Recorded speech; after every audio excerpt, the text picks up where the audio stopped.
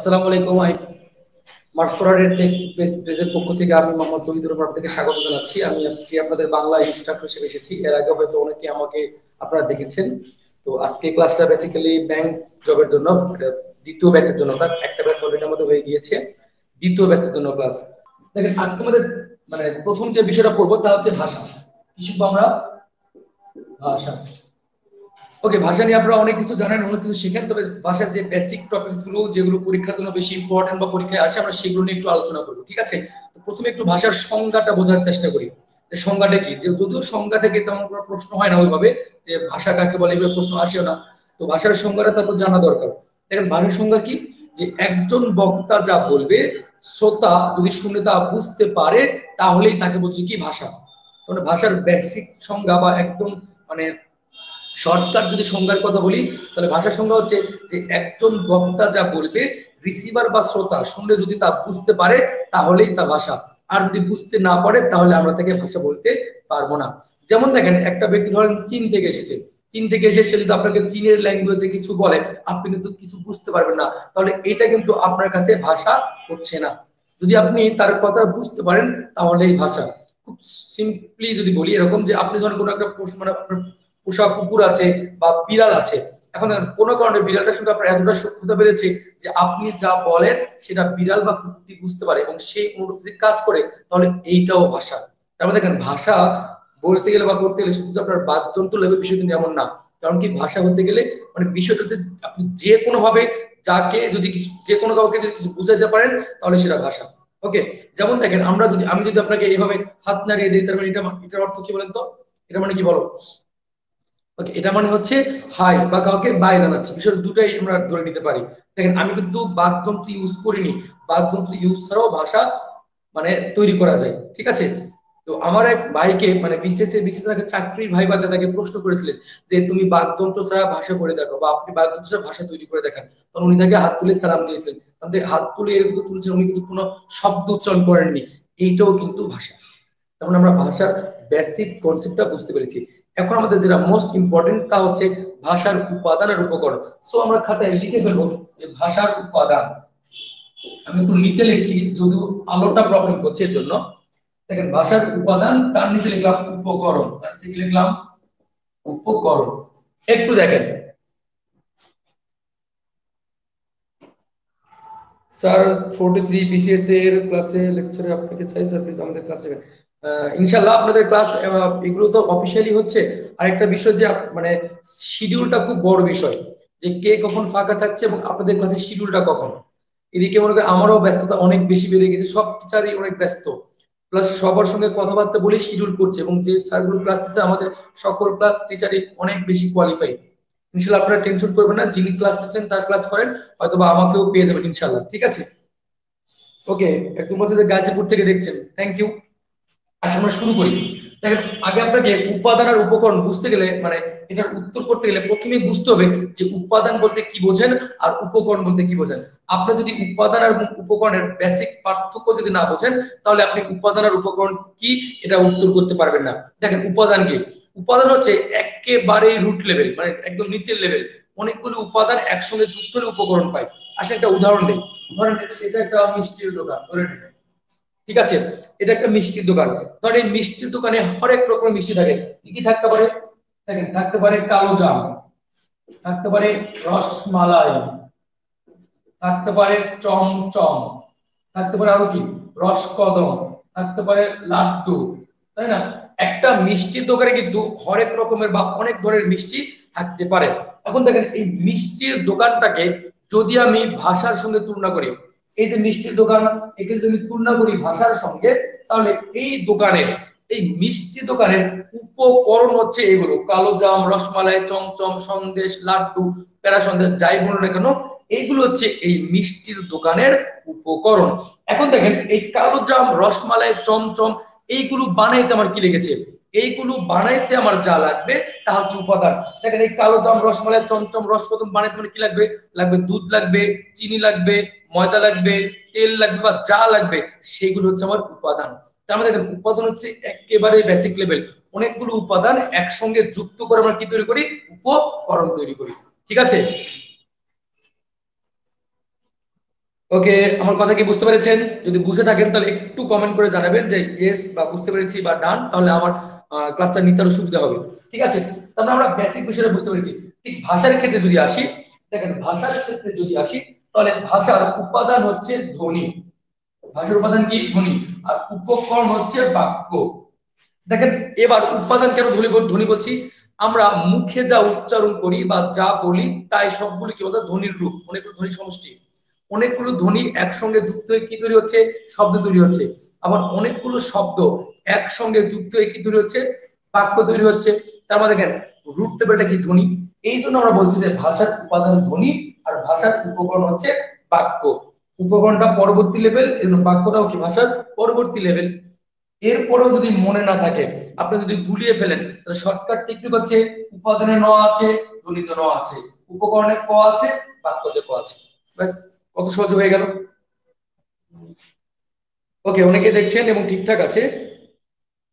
ওকে অর্পিতা শুভ্রা বলছে net problem কি শুধু আপনারই হচ্ছে? বলা মুশকিল। মনে হচ্ছে আপনারই নেট প্রবলেম হচ্ছে, আর বাকিগুলো যত ইয়েস বলেছে জি বলেছে ওকে বলেছে, তার মানে তাদের সবকিছু ঠিকঠাক আছে এবং আমার এখানকার নেট প্রবলেমটা আপাতত ঠিক আছে। ওকে ঠিক আছে? ওকে আমরা ভাষার উপাদানের উপকরণ শিখে ফেলেছি। এবার আমরা ভাষায় কিন্তু বেসিক তথ্য শিখব। ঠিক আছে? যেগুলো আমাদের পরীক্ষায় লাগে বা পরীক্ষায় আসে। দেখেন, আমি কিছু কনফিউশন প্রশ্ন নিয়ে একটু আলোচনা করব। যেগুলো বেসিক বিষয়, যেগুলো সব বই পাওয়া যায়, সেগুলো তো আপনারা জানেন যেগুলো একটু ডিফারেন্ট বা যেগুলো একটু অন্যরকম, সেগুলো একটু আলোচনা করি। ঠিক আছে? আপনারা খাতা বের করুন ছটপট লিখে ফেলবেন।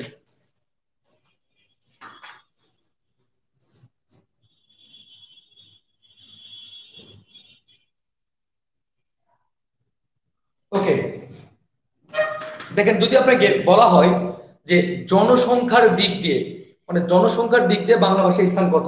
যদি প্রশ্ন করা হয় যে জনসংখ্যার দিক দিয়ে, আমি কি টিচার লিখছি? যদি আলোর চাপে এটা দেখা যাবে না, আমি নিচে লিখছি। এখান থেকে লিখলাম, যে লিখলাম যে জনসংখ্যার দিক দিয়ে বাংলা ভাষার স্থান। দেখা যায় কি? হ্যাঁ বাংলা ভাষার স্থান হচ্ছে সপ্তম। এটা আমরা সবাই জানি যে জনসংখ্যার দিক দিয়ে বাংলা ভাষার স্থান। মানে কতগুলো জনসংখ্যা আছে যারা মোটামুটি বাংলা ভাষায় কথা বলে, সেই দিক দিয়ে বাংলা ভাষার স্থান কত হচ্ছে? সপ্তম। ঠিক আছে? এরপরে এই প্রশ্ন থেকে আরও কোনো কনফিউশন নেই। প্রশ্ন কনফিউশন আছে যেটা, তা হচ্ছে যে মাতৃভাষার দিক দিয়ে, কোন ভাষা? মাতৃভাষার দিক দিয়ে বাংলার স্থান। বা বাংলা স্থান কি বাংলা ভাষার স্থান। ঠিক আছে? বাংলা ভাষার স্থান হচ্ছে চতুর্থ। কত বলুন তো? চতুর্থ। এটা কিন্তু আমরা অনেক জায়গাতেই পাবেন। কিন্তু এই প্রশ্নটা নিয়ে একটু কনফিউশন আছে যে এই যে মাতৃভাষার দিক দিয়ে বাংলা ভাষার স্থান কত? চতুর্থ। এটা কিন্তু একটু পুরনো তথ্য। এই পুরনো তথ্যটাকে আমরা একটু আপডেট করতে শিখব। এখানে চতুর্থ না দিয়ে আপনি শিখবেন কত বলেন তো? পঞ্চম। এখন বলতে পারেন যে পঞ্চমটা কই থেকে আসলো বা কীভাবে আসলো, এটা আমি আরও একটু পরে এক্সপ্লেন করছি। এটাই সর্বশেষ উত্তর। যদি যদি অপশনে থাকে পঞ্চম, তাহলে আপনার পঞ্চম দাগানোটাই বেটার হবে। ঠিক আছে? একটু পরে এই বিষয়ে কথা বলছি। আবার দেখেন, যদি বলি এরকম যে পৃথিবীতে এখন প্রচলিত ভাষার সংখ্যা কত? এটাও খুব কনফিউজিং একটা প্রশ্ন। অনেক জায়গাতে অনেক রকম কনফিউশন আছে, তবে আমরা সঠিকটা জানার চেষ্টা করব। আপনাকে যদি প্রশ্ন করা হয় যে পৃথিবীতে এখন প্রচলিত ভাষার সংখ্যা কতটি? তাহলে আপনার উত্তর হওয়া উচিত সাত হাজার একশো এগারোটি। পৃথিবীতে প্রচলিত ভাষা কতটি? সাত হাজার একশো এগারোটি। এটা মানে প্রায় সাত হাজার একশো এগারোটি। এটা দেখবেন বিভিন্ন বইয়ে লেখা যায় যে তিন হাজার পাঁচশো পঞ্চাশটি বা সাড়ে তিন হাজার চার হাজার। তবে এটার বেস্ট অ্যান্সার বা রাইট আনসার হচ্ছে সাত হাজার একশো এগারোটি। ওকে, আরেকটা তথ্য দিচ্ছি। এই তথ্যটাও লিখে রাখুন। তা হচ্ছে যে এখন পৃথিবীতে কত কোটি লোকের মুখের ভাষা বাংলা? এখন পৃথিবীতে কত কোটি লোকের মুখের ভাষা বাংলা?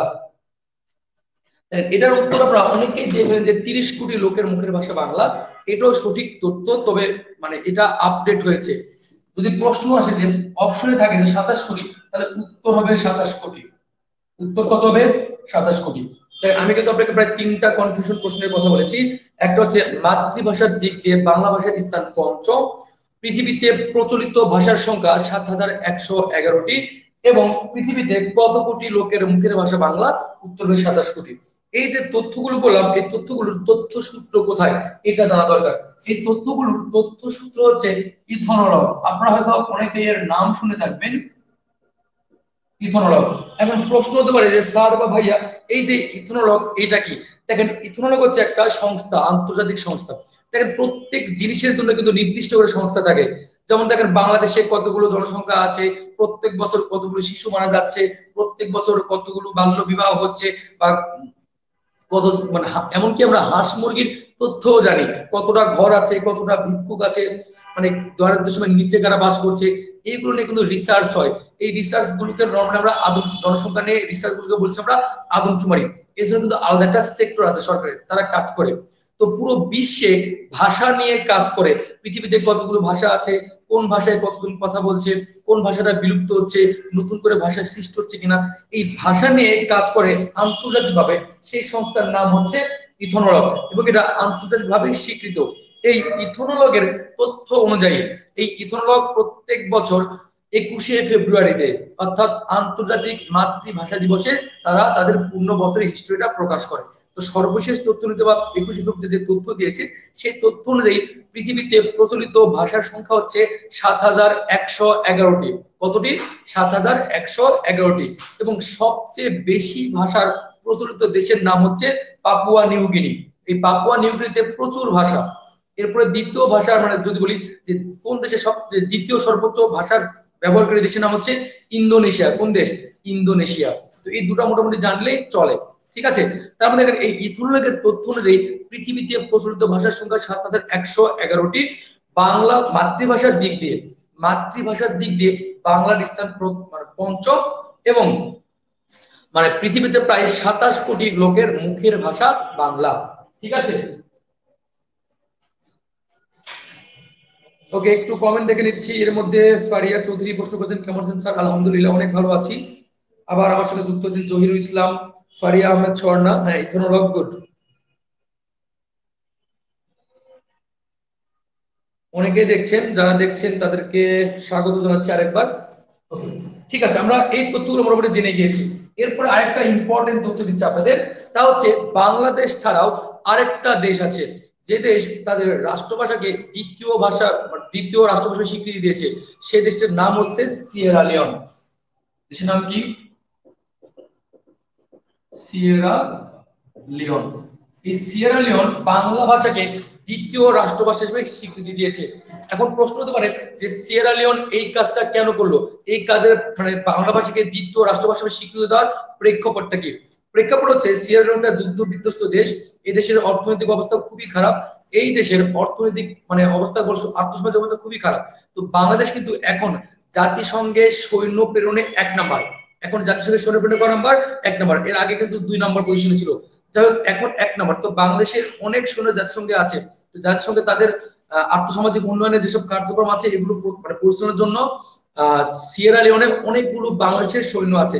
এই বাংলাদেশের সৈন্যগুলো সিয়েরা লিওনে অনেকগুলো স্কুল স্থাপন করেছে।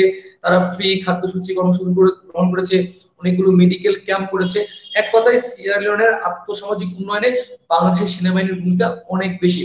এই বাংলাদেশের সেনাবাহিনীর সম্মানার্থে বা বাংলাদেশের সম্মানার্থে তারা তাদের বাংলা, তাদের তাদের দেশের দ্বিতীয় রাষ্ট্র হিসেবে বাংলা ভাষাকে স্বীকৃতি দিয়েছে। আশা করছি বুঝতে পেরেছেন। ঠিক আছে? ওকে এই তো ভাষা নিয়ে ম্যাজিক তথ্য গেল। এখন আমরা শিখব যে ভাষার রূপ শিখব। কি শিখব? ভাষার রূপ। ওকে উত্তর পদ দেখি ভাষার রূপ কয়টি? সবাই পারে। ভাষার রূপ পাই আমরা দুইটি। ভাষার কয়টি রূপ থাকে? ভাষার রূপ আছে দুইটি। একটা হচ্ছে লৈখিক রূপ। কি রূপ?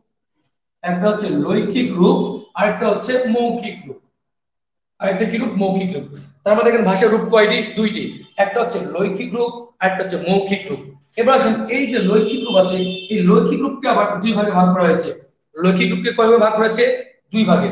একটা হচ্ছে সাধু আরেকটা হচ্ছে চলিত, আরেকটা কি? চলিত।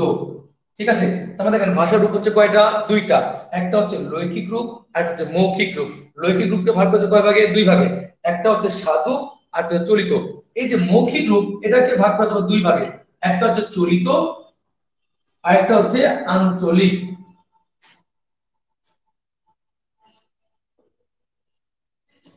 দেখেন, মৌখিককে ভাগ করছে কয় ভাগে? দুই ভাগে। একটা হচ্ছে চলিত আর একটা হচ্ছে আঞ্চলিক। আশা করছি দেখতে প্রবলেম হচ্ছে না যদি একটু নিচে লিখেছি। দেখেন, এই আঞ্চলিকের আবার আরও একটা নাম আছে। কি নাম আছে? এই আঞ্চলিকের আরেকটা নাম আছে। সেই আঞ্চলিকের একটা নাম হচ্ছে উপভাষা। কি নাম? উপভাষা। ঠিক আছে? এই উপভাষার ইংরেজি পরীক্ষায় আসে। এই উপভাষার ইংরেজি হচ্ছে ডায়ালেক্ট উপভাষার ইংরেজি কি? ডায়ালেক্ট ঠিক আছে? এখন দেখেন মজার বিষয়, এই আঞ্চলিক বা উপভাষার এই ভাষার প্রবর্তককে, এই ভাষার প্রবর্তক হচ্ছে শ্রদ্ধেয় রবি ঠাকুর, শ্রদ্ধেয় রবীন্দ্রনাথ ঠাকুর। উনি এই আঞ্চলিক ভাষার আরেকটা নাম দিয়েছেন উপভাষা। ক্লিয়ার এখান থেকে যদি ক্রিটিক্যাল প্রশ্ন করে, যদি প্রশ্ন একটু কঠিন করতে চায়, তাহলে প্রশ্ন করতে পারে যে আঞ্চলিক ভাষার উপভাষার নামকরণ করেছেন কে? বা এটার প্রবর্তক কে? এটার প্রবর্তক হচ্ছে রবীন্দ্রনাথ ঠাকুর। ঠিক আছে? ওকে এটা খুব সহজ চ্যাপ্টার বেসিক চ্যাপ্টারটা পারেন, আর সাধু চলিত পার্থক্য সবাই পারেন। তারপর বলে দিচ্ছে যে, সাধু এবং চলিত ভাষার বেসিক পার্থক্যটা পরিলক্ষিত হয় সর্বনাম ও ক্রিয়াপদে। কারণ কি আমরা সাধু থেকে চলিত অথবা চলিত থেকে সাধু যখন পরিবর্তন করতে যাই, তখন বেসিক্যালি সর্বনাম এবং ক্রিয়াপদেরই পরিবর্তন করতে হয়। ঠিক আছে? মাঝে মাঝে আমরা অব্যয়েরও পরিবর্তন করি, ওটা খুবই কম। তবে সাধারণত সর্বনাম এবং ক্রিয়াপদেরও পরিবর্তন করতে হয়। ওকে এই তো ভাষার রূপ গেল। এরপর আমরা শিখব লিপি। কি শিখব? লিপি। এই যে আমরা বাংলা লিখছি, বাংলা ভাষায় খুব সুন্দর করে বর্ণগুলো লিখছি, এই যে লেখাটা, এটা অবশ্যই একটা লিপি থেকে এসেছে, তাই না? আমরা যদি এই উপমহাদেশের কথা বলি, কারণ তো এই বাংলাদেশটা একদম নতুন একটা দেশ। এই বাংলা ভাষা তো নতুন না। বাংলা ভাষা কি অনেক পুরাতন না? বাংলা ভাষা হচ্ছে অনেক পুরাতন একটা ভাষা। অনেক যুগ থেকে চলছে। কিন্তু বাংলাদেশের সময় থেকে, বাংলাদেশটা অনেক নতুন একটা দেশ। তো এই আমরা কিন্তু এর আগে বলতে পারি যে সাবকন্টিনেন্ট ছিলাম। তো সাবকন্টিনেন্টে আমরা ভারত উপমহাদেশে আমরা দুই ধরনের লিপি পাই। কয় ধরনের লিপি পাই? দুই ধরনের। আমরা বলতেই পারি যে লিপি হচ্ছে দুই প্রকার। লিপি কয় প্রকার? দুই প্রকার। ঠিক আছে? একটা হচ্ছে ব্রাহ্মী লিপি, একটা কি লিপি? ব্রাহ্মী লিপি। ওকে, ব্রাহ্মীটা একটু ভালো করে লিখতে হবে। একটা হচ্ছে ব্রাহ্মী লিপি আর একটা হচ্ছে খরষ্ঠী লিপি। আরেকটি লিপি? খরষ্ঠী লিপি। ঠিক আছে? আপনারা তো জানেন যে বাংলা এসেছে কোন লিপি থেকে? বাংলা এসেছে ব্রাহ্মী লিপি থেকে। বাংলা লিপি এসেছে কোন লিপি থেকে? ব্রাহ্মী লিপি থেকে। খরষ্ঠী লিপি থেকে বাংলা লিপি আসেনি। আর এই ব্রাহ্মী লিপির প্রধান বৈশিষ্ট্য, এই ব্রাহ্মী লিপির প্রধান বৈশিষ্ট্য হচ্ছে বাম দিক থেকে লিখতে হয়। কোন দিক থেকে লিখতে হয়? বাম দিক থেকে লিখতে হয়। তো সো এর প্রধান বৈশিষ্ট্য হচ্ছে বাম দিক থেকে লিখতে হয়। এই ব্রাহ্মী লিপিগুলোকে আবার কয়েকটা ভাগে ভাগ করা হয়েছে। তার মধ্যে একটা হচ্ছে কুটিল, একটা হচ্ছে নাগর, একটা সারদা। আরও কিছু অংশ পাই, তবে এখান থেকে প্রশ্ন একটু কঠিন করে, যে বাংলা লিপি সর্বশেষ কোন লিপি থেকে এসেছে? উত্তর হবে কুটিল লিপি, উত্তর কোন লিপি হবে কুটিল লিপি থেকে এসেছে, ঠিক আছে? তবে বেসিক্যালি কুটিল লিপি থেকে প্রশ্ন কম আসে, সরাসরি প্রশ্ন আসে, যে বাংলা লিপি কোন লিপি থেকে এসেছে? উত্তর হবে ব্রাহ্মী লিপি। সবাইকে বুঝতে পেরেছেন? একটু আমাকে জানাবেন? ওকে ঠিক আছে। অনেকে যুক্ত হয়েছে আমার সঙ্গে হয়েছেন বলছি। কিছু আমার স্টুডেন্টও আছে, তারাও যুক্ত হয়েছে এর মধ্যে। ওকে। ঠিক আছে, আমি এটা ইরেজ করে দিচ্ছি, দিয়ে মানে সামনের দিকে এগিয়ে যাচ্ছি। এবার আমরা, একটু বাংলা ভাষার উৎপত্তি নিয়ে কথা বলছি, বলি। এই যে আজকে আমরা যেভাবে বাংলা ভাষায় কথা বলি, আজ থেকে কিন্তু একশো বছর আগে এইভাবে বাংলা কথায় বলতো না। আবার দেখেন, একশো বছর পরেও কিন্তু বাংলাতে এইভাবে কথা বলবে না। কারণ কি? ভাষা হচ্ছে প্রতিনিয়ত পরিবর্তনশীল। ঠিক আছে? তো আমরা বাংলা ভাষা কোথা থেকে এসছে, এর রিজন কোথায় বা কীভাবে আসলো, এই বিষয়ে আলোচনা করি, তাহলে আমরা ভাষার উৎপত্তিটা জানব। ঠিক আছে? যে একদম শুরুর দিক থেকে কথা বলি যে বাংলা ভাষা কোন গোষ্ঠীর অন্তর্গত? দেখেন, প্রত্যেকেই কোনো না কোনো গোষ্ঠী থেকে আসে। ঠিক ভাষারও কিছু গোষ্ঠী আছে। ভাষাগুলোকে অনেকগুলো গোষ্ঠীতে ভাগ করা হয়েছে। যেমন আছে ইন্দো ইউরোপীয় ইন্দো কানাডিয়া ইন্দো আমেরিকা ইন্দো ইউরোপ এরকম অনেকগুলো ভাষা গোষ্ঠী আছে। তো বাংলা যে ভাষা গোষ্ঠী থেকে এসেছে, সেই ভাষা গোষ্ঠীর নাম হচ্ছে ইন্দো ইউরোপীয় ভাষা গোষ্ঠী খুবই ইম্পর্টেন্ট অনেকবার পরীক্ষায় এসেছিল, বিভিন্ন পরীক্ষায়, চাকরি পরীক্ষায় বলেন। ঠিক আছে? তাহলে আপনাকে যে প্রশ্ন করা হয় যে বাংলা ভাষা কোন ভাষা গোষ্ঠীর অন্তর্গত, উত্তর কি হবে? উত্তর হবে ইন্দো ইউরোপীয় ভাষা গোষ্ঠী এদিকে লিখতে পারি, তাই না? এই দিকে লিখতে যে ইন্দো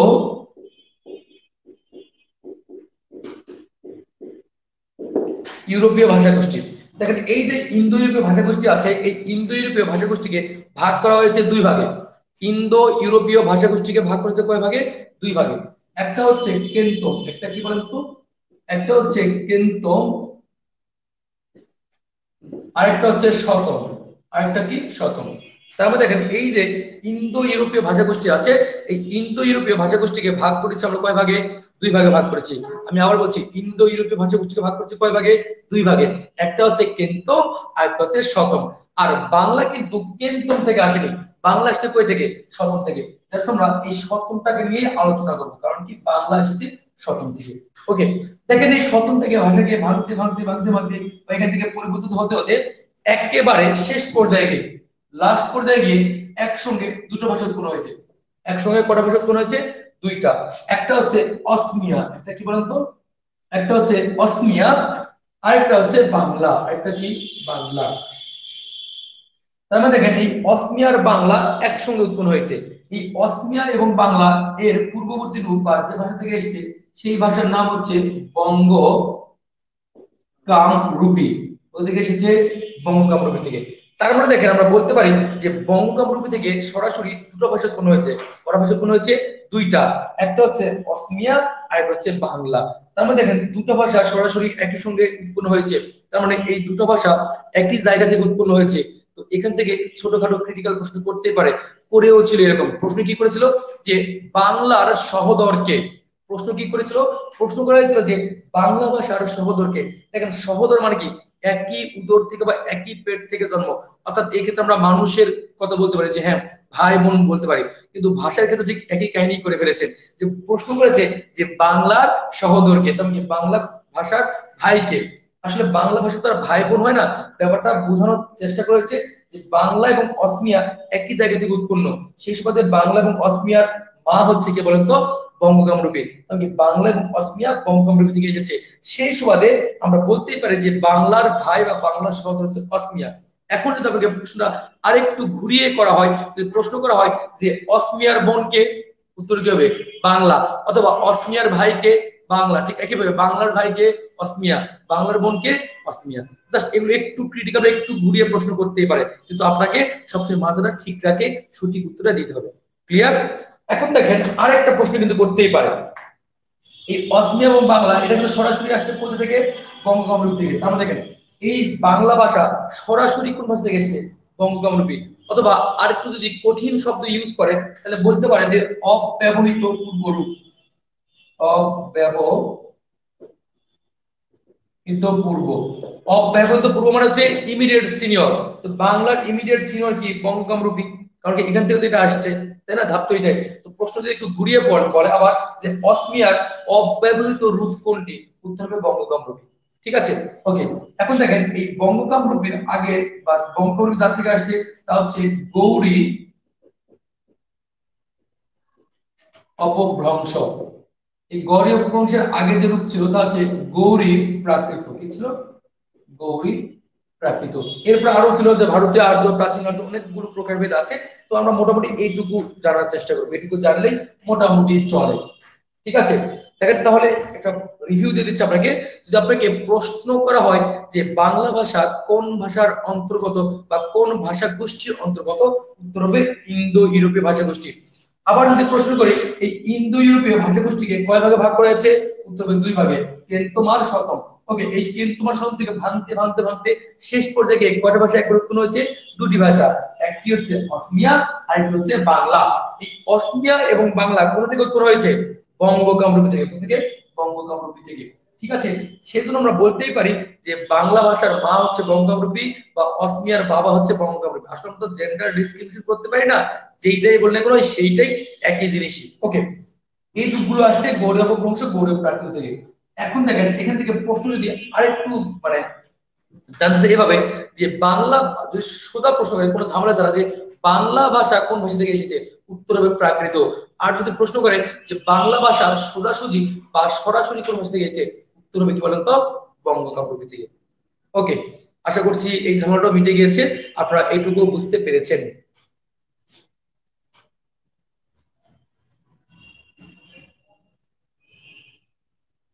সুব্রত কীর্তানিয়া স্যার, উনি কমেন্ট করেছেন, আমি ওনার কমেন্ট শুনে আপ্লুত হয়েছি বা খুশি হয়েছি থ্যাংক ইউ দোয়া করবেন স্যার।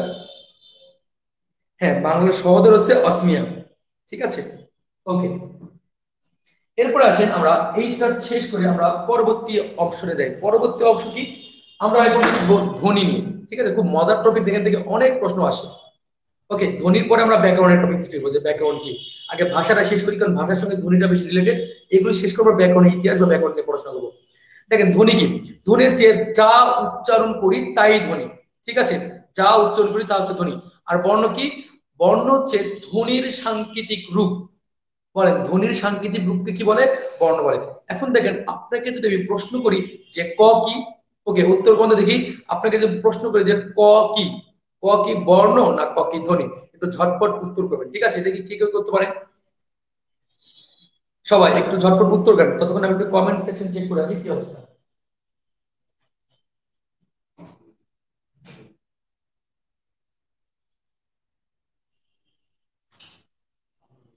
ওকে ফারিয়া আমার ছড়না আমার কাজগুলো অনেক সহজ করে দিয়েছেন। উনি খুব সুন্দর করে আবার আমার ধাপগুলোকে লিখে লিখে দিচ্ছেন। আপনাকে অনেকগুলো ধন্যবাদ। আসলে ধন্যবাদ দিয়ে আপনাকে মানে এই কৃতজ্ঞতা প্রকাশ করতে পারব না, তবে ওকে, জাস্টিন ওয়াহিদ, উনি উত্তর করছেন ধ্বনি আবার শাহরিয়া শৌখিন উত্তর করছেন বর্ণ।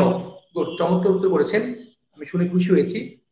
ওকে, আজমাইন বেনজি উত্তর করছেন ধ্বনি আবার এরপরে আব্দুর রহিম চাঁদ উত্তর করছেন বর্ণ। এই তো আপনারা আমাকে কনফিউশনে ফেলে দিচ্ছেন। এখন আমি উত্তর দিব কোনটা? কেউ বলছেন বর্ণ, কেউ বলছেন ধ্বনি কেউ বলছেন বর্ণ, কেউ বলছেন ধ্বনি আবার অন্তি সরকার উত্তর করছেন বর্ণ, আবার শুক্লা অধিকারী উত্তর করছেন ধ্বনি। এর মধ্যে আবার মিনহাজ আহমেদ উত্তর করে ফেলেছেন বর্ণ, আবার আহানাব সরি এ, এই স্থানে উত্তর করেছেন ধ্বনি। দীপ্ত কুণ্ডু আবার কোন রিক্সই নিতে চাননি। উনি বলছেন, স্যার, দুটাই। বা চমৎকার উত্তর, আমি আরও বেশি খুশি হয়েছি। ওকে ঠিক আছে, আমি উত্তর দিয়ে দিচ্ছি। একটু মজা করব আপনাদের সঙ্গে। দেখেন, যা উচ্চারণ করি, তা হচ্ছে ধ্বনি। আমি কিন্তু একবারও ক লিখে দেখাইনি। তার মানে আমি ক কি? মুখে উচ্চারণ করছি। মুখে যা উচ্চারণ করা হয়, তার সবকিছুই ধ্বনি। এখন আপনাকে যদি প্রশ্ন করি, গ কি? গ হচ্ছে ধ্বনি। এখন দেখেন, আপনাকে যদি লিখে বলি, এই যে লিখছি চ, এখন যদি বলি যে চ কি? এই চ হচ্ছে বর্ণ। চ কি বলেন তো? বর্ণ। চ হচ্ছে কি? বর্ণ। এখন আপনাকে যে প্রশ্ন করে, ছ কি? ছ হচ্ছে ধ্বনি। এখন যদি বলি যে এই যে লিখলাম ট কি তখন ট হয়ে যাবে বর্ণ। ট কি হবে? বর্ণ। ক্লিয়ার ওকে আশা করছি বুঝতে পারছেন। তার মধ্যে দেখেন যে ধ্বনির ধ্বনির সাংকেতিক রূপ হচ্ছে বর্ণ। সাংকেতিক রূপ বলতে যে এই ধ্বনিটাকে যখন আমরা লিখে প্রকাশ করব বা লিখিত রূপ দিব, আমরা তখনই থেকে বলব বর্ণ।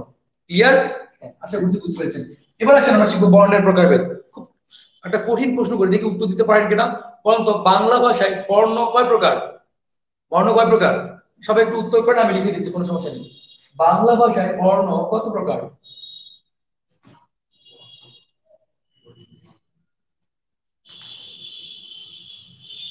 ওকে না, আমি আপনাকে মুখে মুখে প্রশ্ন করেছি। আমি তো লিখে প্রশ্ন করিনি, আর আমি তো আপনার চাকরিতে তো মানে প্রশ্ন লিখিত আগের প্রশ্ন দেইনি। আমি আপনাকে সরাসরি মুখে প্রশ্ন করেছি। শাহরিয়ার শৌখিন বলেছেন যে লিখা ছাড়া প্রশ্ন হবে না। লিখা ছাড়া প্রশ্ন হবে আমি জানি, কিন্তু আমি আপনাকে প্রশ্নটা সরাসরি মুখে করেছি। আমি কখনো লিখিত আগের প্রশ্ন করিনি। চমৎকার, সবাই উত্তর করতে যে বাংলা ভাষায় বর্ণ হচ্ছে দুই প্রকার। বর্ণ কয় প্রকার? আমি এখানে বর্ণ লিখলাম। এই বর্ণকে যদি ভাগ, ভাঙ্গি, তাহলে বর্ণ আছে, এখানে আলো করছে, তাহলে আরও একটু সরে লিখতে হবে। এখানে ওকে। দেখেন, বর্ণ হচ্ছে কয় প্রকার? বর্ণ দুই প্রকার। এই একটা হচ্ছে স্বরবর্ণ, কি বর্ণ? স্বরবর্ণ। আরেকটা হচ্ছে ব্যঞ্জন বর্ণ, কি বর্ণ? ব্যঞ্জন বর্ণ, ঠিক আছে? এখানে দেখেন স্বরবর্ণ পাই আমরা এগারোটি। স্বরবর্ণ পাই কয়টি? এগারোটি। আর এইদিকে দেখেন ব্যঞ্জন বর্ণ আছে উনচল্লিশটি। ওকে, তাহলে দেখেন, মোট বর্ণ পাচ্ছি পঞ্চাশটি। মোট বর্ণ কয়টি? পঞ্চাশটি। এখন আপনাদেরকে যদি প্রশ্ন করি যে বর্ণমালা কয়টি? বাংলায় মোট বর্ণমালা। বাংলায় মোট বর্ণমালা কয়টি? আপনারা উত্তর করেন একটু কমেন্ট সেকশনে যে বাংলায় মোট বর্ণমালা কয়টি? আমি বলে দিচ্ছি, দেখেন যে বাংলায় বর্ণ স্বরবর্ণ আছে এগারোটি এবং ব্যঞ্জন বর্ণ আছে উনচল্লিশটি। তাহলে বাংলায় মোট বর্ণমালা কতটি? আপনারা উত্তর করতে থাকুন, আমি একটু দেখি। ওকে, অনেকেই উত্তর করছেন। আব্দুল আজিজ আপেল উত্তর করছেন। মোহাম্মদ আতিয়ার উত্তর করছেন পঞ্চাশটি। কিন্তু আবার মাহির সাদাত উত্তর করছেন একটি। আবার এরই মধ্যে শুক্লা অধিকারী উত্তর করছেন উনচল্লিশটি। বেনজির আজমাইন নদী, উনি উত্তর করছেন একটি। আবার শুক্লা অধিকারী উত্তর করেছেন পঞ্চাশটি। এই তো আবার আপনারা আমাকে কনফিউশনে ফেলাচ্ছেন। আপনারা কনফিউশনে ফেলাইলে আমার খুব ভালো লাগে। কারণ কি? আমি কনফিউজ থাকতে ভালো লাগে। কারণ কি? কনফিউজ থাকলে কিছু চিন্তা করার সুযোগ থাকে। আর চিন্তিত মস্তিষ্কই নতুন কিছু তৈরি করতে পারে, তাই না? তার মানে প্রোডাক্টিভ কিছু আসবে। আর যদি অলস বসে থাকেন, চিন্তা না করেন, তাহলে আপনার মাথা থেকে প্রোডাক্টিভ কিছু আসবেন না। তার মানে আপনারা যত বেশি কনফিউজ থাকবেন, আমার তত বেশি ভালো লাগে। ওকে আসেন, এবার একটু এক্সপ্লেন করে দেবা এক্সপ্লেনেশন দিয়ে দিই। এই যে চমৎকার একটা প্রশ্ন করেছে, যা সবাই বেশিরভাগই, যারা আগে পড়ে না বা পড়েনি বা বিষয়টা জানেননি বা জানেন না, তাদের জন্য এটা সত্যি খুব কনফিউজিং উত্তর।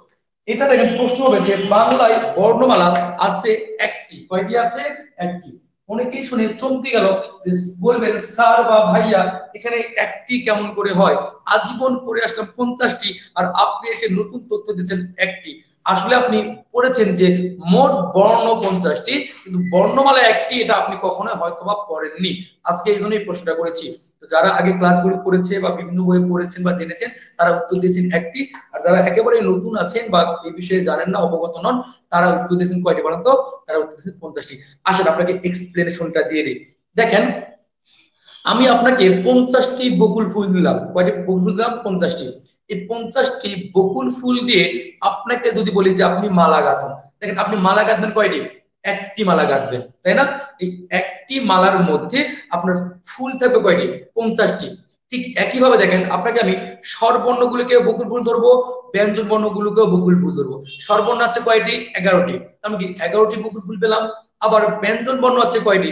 উনচল্লিশটি, আবার এক্সট্রা করে আবার উনচল্লিশটি বকুল ফুল দিলাম। এখন সবগুলো বকুল ফুল মিলে কয়টি বকুল ফুল হলো? পঞ্চাশটি বকুল ফুল হলো। ঠিক একইভাবে দেখেন, বর্ণগুলোকে দিয়ে যখন আপনি মালা কাটবেন তখন পাবেন বর্ণের মালা। কি মালা? বর্ণের মালা। বর্ণের মালা পাবেন কয়টি? আপনি বর্ণের মালা পাবেন একটি, যে বর্ণের মালার মধ্যে বর্ণ আছে কয়টি? পঞ্চাশটি। এই জন্য এটাকে বলে ক্রিটিক্যাল প্রশ্ন।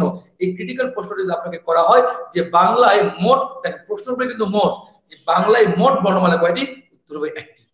ক্লিয়ার আশা করছি বুঝতে পেরেছেন।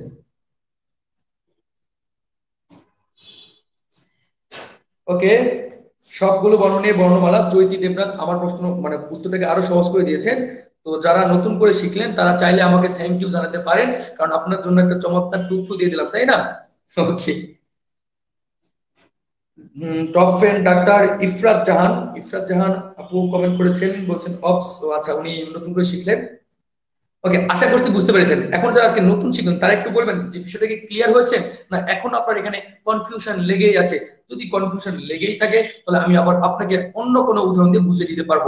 আর যদি আপনি বিষয়টা সম্পূর্ণই বুঝে থাকেন, তাহলে আমাকে একটু ছোট্ট করে থ্যাংকস জানাবেন, ঠিক আছে? আপনি থ্যাংকস জানাবেন, আর আমি অ্যাডভান্স ওয়েলকাম জানিয়েই দিলাম আপনাকে।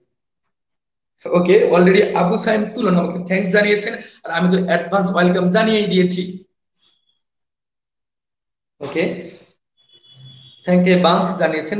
Okay okay I am just kidding আমি একটু মজা করছিলাম। আর যারা একটু লাইভটা দেখছেন, মনে হয় এখন আমার কথা স্পষ্ট শুনতে পাচ্ছেন ক্লিয়ারও দেখতে পাচ্ছেন। তো আশা করছি ক্লাসটা এনজয় করছেন তো একা একা এনজয় না করে ভালো কাজগুলো সকলকে নিয়ে করাটাই বেশি বেটার তো যারা লাইভটা একটু দেখছেন তারা কাইন্ডলি এই লাইভ ক্লাসটা শেয়ার করবেন তাহলে আপনার যারা আপনি যাদের শুভাকাঙ্ক্ষী বা আপনার যারা শুভাকাঙ্ক্ষী, তারা সবাই এই ক্লাসটা দেখতে পারবে। তারা জানতে পারবে যে এখন একটা বাংলা ক্লাস চলছে ব্যাকরণের ক্লাস চলছে, যা বেসিক্যালি একটা নতুন ব্যাচ ক্রিয়েট করা হবে। সেই ব্যাচের জন্য ফ্রি ক্লাস ঠিক আছে? ওকে অলরেডি মাহবুব আক্তার জলে এসেছে, এসে উনি লোল কমেন্ট করেছেন। তাপস বিশ্বাস বলছে, অনেক অনেক ধন্যবাদ, স্যার। পন্থী সরকার বলছে, নতুন শিখলাম, ধন্যবাদ, স্যার। হ্যাঁ আপনি নতুন কিছু শিখবেন এই জন্যই আমাদের কাছে আসবেন বা আসছেন, তাই না? এবং আমরাও আপনার কাছে নতুন কিছু শিখব। ঠিক আছে? ওকে ফারজানা জালাল জীবন বলছে ক্লিয়ার অ্যান্ড থ্যাঙ্কস ওকে অনেকে আমাকে থ্যাঙ্কস জানাচ্ছেন, বিষয়টা খুব ভালো লাগতেছে। ওকে থ্যাংক ইউ এরপর আছেন আমরা পরবর্তী টপিকসে যাই। এটুকু ক্লিয়ার হয়েছি এখন দেখেন আমরা স্বরবর্ণগুলো শিখব। কি শিখব বলতো? স্বরবর্ণ। বলেন, স্বরবর্ণ কয়টি আছে? এগারোটি। আচ্ছা কি কি আছে? আমি একটু লিখে ফেলি। আমি যদি উপরে লিখি, লিখলাম প্রথমে হচ্ছে, আপনি এটাকে আদর করে মানে স্বর অ ডাকেন, কিন্তু আসলে এই উচ্চারণটা ভুল। এটা হবে অ। তারপরে আছে আ। কি আছে? আ। তারপর আছে রস্বই তারপর আছে দীর্ঘই, তারপর আছে রস্য, তারপর আছে দীর্ঘ, তারপর আছে রি। দুঃখিত, আমি রিটা ছেড়ে ফেলেছি। এরপর আছে হচ্ছে রি। একটু দেখে নেই যে বোর্ডে দেখা যাচ্ছে কিনা। দেখা যাচ্ছে, রি আছে, তারপর আছে এ। ওকে তারপর আছে হচ্ছে এ ওই ও ও। ওকে এই সবগুলি হচ্ছে স্বরবর্ণ। তাহলে তাহলে দেখেন, এখানে আমরা স্বরবর্ণ পাচ্ছি কয়টি? এগারোটি। স্বরবর্ণ পাচ্ছি কয়টি? এগারোটি। এখন আপনাকে যদি প্রশ্ন করি যে কার আছে কয়টি? বলেন, স্বরবর্ণের কার আছে কয়টি?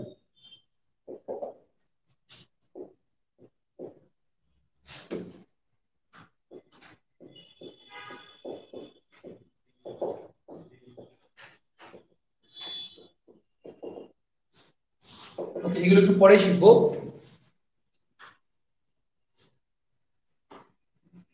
ওকে আবরার আহমেদ আলফি উত্তর করেছেন দশটি, আব্দুর রহিম চাঁদ উত্তর করেছেন দশটি। ওকে, আপনারা উত্তর সবাই ঠিক দিয়েছেন। তো এটা খুবই সহজ প্রশ্ন কমন প্রশ্ন ছিল, এই জন্য পেয়েছেন দেখেন, কার আছে দশটি? কার কয়টি? দশটি। এখন যদি প্রশ্ন করা হয় যে কার নেই কার, আমাকে যদি প্রশ্ন করে যে কার নেই কার, তাহলে আমি খুব মজা করে উত্তর দিই যে আমার কার নেই আর অয়ের কার নেই। কার কার কার নেই? আসলে আমার কার নেই, আমি কার বলতে আমার পার্সোনাল গাড়ি বা কারকে বুঝিয়েছি। আসলে আমার নেই, আশা করছি আপনাদের দোয়ায় ইনশাল্লাহ একদিন আমার হয়ে যাবে। ঠিক আছে? তাহলে আমাকে যদি কেউ প্রশ্ন করে যে, বলো যে কার নেই কার? আমি তখন উত্তর বলি যে, আমার কার নেই আর অয়ের কার নেই। হ্যাঁ আমারও কার নেই, আরেকটা এই অ বলতে কিন্তু অন্য কেউ না। এই অ বলতে কিন্তু বুঝিয়েছি আমি, এই যে আপনারা সর্বর্ণ অ বলেন, এই সর্বর্ণ অয়ের কার নেই। যেহেতু অয়ের কার নেই এই জন্য অকে বলা হয় নীলিন বর্ণ। আচ্ছা এই জায়গায় একটু আলুর প্রবলেম আমি লিখে দিচ্ছি যে অকে বলা হয় নীলিন বর্ণ। অয়ের নাম কি? নীলিন বর্ণ। বা অকে আরেকটা নামে ডাকা হয়, তা হচ্ছে বর্ণহীন বর্ণ। কারণ কি? এই বর্ণের কোনো কার নেই। আর বাকি যতগুলো স্বরবর্ণ আছে, সবগুলো স্বরবর্ণকেই, স্বরবর্ণেরই কি আছে? কার আছে। ঠিক আছে? কার আছে কয়টি তাহলে? দশটি। এরপর আসেন, আমরা শিখব রস্বস্বর উত্তর পর্যন্ত দেখি যে রস্বস্বর আছে কয়টি? রস্বস্বর কয়টি আছে? বলতে পারেন? ওকে যদি বলতে পারেন তাহলে আলহামদুলিল্লাহ, যদি বলতে না পারেন তাহলে নাউজুবিল্লাহ বলার দরকার নেই। আপনি জাস্ট লিখে ফেলুন যে রস্বস্বর আছে চারটি। কয়টি আছে? চারটি। দেখেন রস্বস্বর আছে চারটি আর দীর্ঘস্বর আছে আটটি। দীর্ঘস্বর কয়টি আছে? আটটি, তাই না? এই তো চমৎকার যোগ বিয়োগ শিখেছেন। ক্লাস ওয়ানে আবার আপনাকে ভর্তি করে দিব যদি আপনি আটটি উত্তর লিখে থাকেন। আমি লিখেছি কিন্তু ষাটটি বলেছিলাম আটটি। সিম্পল হিসাব যদি আপনার সর্বর্ণ থাকে এগারোটি, সর্বর্ণ কয়টি? এগারোটি। তার মধ্যে যদি রস্বস্বর একাই হয়ে যায় চারটি, তাহলে বাকি যা থাকবে তা তো দীর্ঘস্বর তাহলে দীর্ঘস্বর কি আটটি থাকবে? অবশ্যই না। দীর্ঘস্বর থাকবে কয়টি? সাতটি। তার মানে কি? রস্বস্বর চারটি দীর্ঘস্বর সাতটি। ক্লিয়ার ওকে এরপরেও কেউ ভুল করে থাকলে আমার সঙ্গে কথা বলবেন, আমি ঠিক করে দেবো ইনশাআল্লাহ। ওকে আশা করছি বুঝতে পেরেছেন।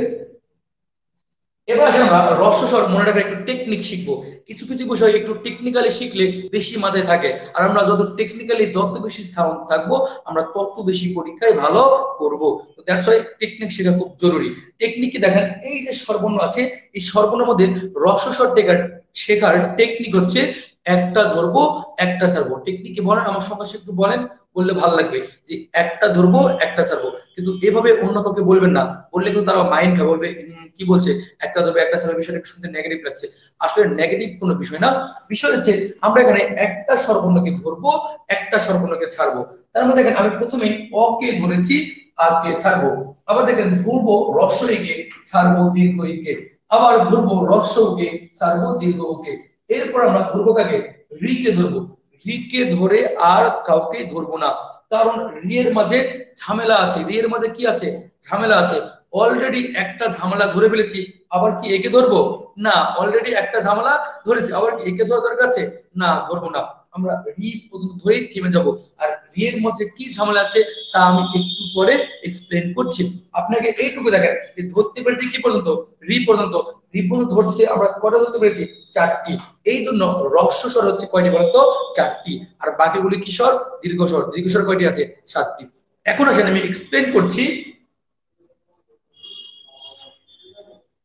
এখন আসলে আমি এক্সপ্লেন করছি যে কেন রিকার মাঝে ঝামেলা আছে, এই বিষয়টু কথা বলছি। দেখেন, রিয়ের মাঝে যে ঝামেলা আছে, আসলে রিয়ের মাঝে ঝামেলা নাই, ঝামেলাটা আমরা মানুষেরাই ঝামেলাটা করে ফেলি। এই ঝামেলার বড় কারণ হচ্ছে, রিকারকে অনেক ভাষা বিজ্ঞানী বা অনেক ব্যাকরণবিদ সর্বর্ণ মনে করেন না। তাদের মধ্যে একজন আমার অতি প্রিয়, অতি শ্রদ্ধেয় রবি ঠাকুর। এই রবি ঠাকুর রিকারকে কি মনে করেন না? সর্বর্ণ মনে করেন না। উনি ওনার একটা ব্যাকরণ বই আছে, সেই ব্যাকরণ বইটা উল্লেখ করে গিয়েছেন। কিন্তু সুস্পষ্ট ব্যাখ্যা মনে হয় দিয়েছে কিনা আমি জানি না। যদি জেনে থাকি, তাহলে কোনোদিন জানাব। ওকে আর ওনার মধ্যে একজন মহান ব্যক্তি বা বড় লেভেলের ব্যক্তি এরকম কিছু বলে গেছে, তাহলে এটা আমরা কখনোই স্কিপ করতে পারি না। কারণ কি? মহৎ ব্যক্তিরা যা বলে যায়, তাই হয়ে যায় অমৃত বাণী আর আমরা কিছু যদি বলে যাই, তা হইতে পারে, কারোর জন্য গালি হইতে পারে। যেহেতু ওনার মতো মহৎ ব্যক্তি এরকম একটা কথা বলে গিয়েছেন এটাই পরীক্ষার প্রশ্ন হয়ে যায় যে নিচের কোন সর্বনটিকে অনেকেই সর্বন মনে করেন না, উত্তর তাকে মানে রিকা ঠিক আছে? ওকে আশা করছে বুঝতে পেরেছেন। রসস্বর কি কি আমি চমৎকার করে গোল দাগ দিয়ে দাগিয়ে দাগিয়ে ধরে দিয়েছি? এরপর যদি বুঝতে প্রবলেম হয়, এক ভাইয়া সাহায্য করছেন, তাকে থ্যাংক ইউ জানিয়ে দেবেন, ঠিক আছে? আচ্ছা এরপরে আমরা শিখব ফলা, শিখব। কি শিখব? ফলা। আশা করছি এটুকু হয়ে গেছে, আমি এটুকু ইরেজ করে দিলাম। এখন আমরা শিখব ফলা। ওকে ফলা আছে ছয়টি। ফলা আছে কয়টি? ছয়টি। এই ফলা ছয়টি শিখতে গিয়ে আমরা শ্রদ্ধেয় হুমায়ুন আহমেদ স্যারের একটু মানে স্মরণ করব, তাকে একটু স্মরণ করব। হুমায়ুন স্যারের একটা চমৎকার একটা, আহ উপন্যাস আছে। আপনারা হয়তো অনেকেই উপন্যাসটা পড়েছেন। উপন্যাসের নাম হচ্ছে আমার আছে জল। উপন্যাসের নাম কি? আমার আছে জল। এবং এই আমার আছে জল নামে একটা সিনেমা আছে। কি আছে? সিনেমা আছে। যে সিনেমাটা জাতীয় চলচ্চিত্র পুরস্কার পেয়েছিল। ঠিক আছে? তো এই সাইলেন্ট সিনেমাটা দেখতে পারেন। এই সিনেমাটার নামটা আমরা হালকা একটু এডিট করব। কি করব? কিঞ্চিত এডিট করব। এডিট করে সিনেমার নামটা দিয়ে দেবো যে মনে রবে জল। মনে রবে জল। তারপর দেখেন এখানে মত হচ্ছে মফলা, এখানে যে ফলা লিখলাম ছয়টা, এই ছটা ফলা কিন্তু এই টেকনিক মতো চলে এসেছে। টেকনিক কি? মনে, রবে, জল। আর সাবধান, জল বানান কিন্তু বর্গীয় জলে লিখবেন না। যদি বর্গীয় জলে লিখেন, তাহলে তা খাবার জল হয়ে যাবে, সেই জলটা আপনার জন্য বিষাক্ত হয়ে যাবে। খেলে সমস্যা হয়ে যেতে পারে। কারণ কি এখানে আমরা বর্গীয় দিনে অন্তস্তীয় জল দিয়েছি। তার মধ্যে দেখেন মত হচ্ছে মফলা নত হচ্ছে নফলা রত হচ্ছে রফলা, বত হচ্ছে বফলা। যত হচ্ছে জফলা লতে হচ্ছে লফলা এই ছয়টি ফলা পাই অনেকে জোর করে প কেও ফলা বানিয়ে ফেলেন। আসলে প কিন্তু কোনো ফলা না। ফলা আছে কয়টি? ছয়টি, এখানে দেওয়া আছে। ক্লিয়ার সবাই? বুঝতে পেরেছি আমরা? হ্যাঁ আশা করছি বুঝতে পেরেছি। আহামরি কঠিন কিছু না এটা ওকে, এরপর একটু দেখি কার কি অবস্থা।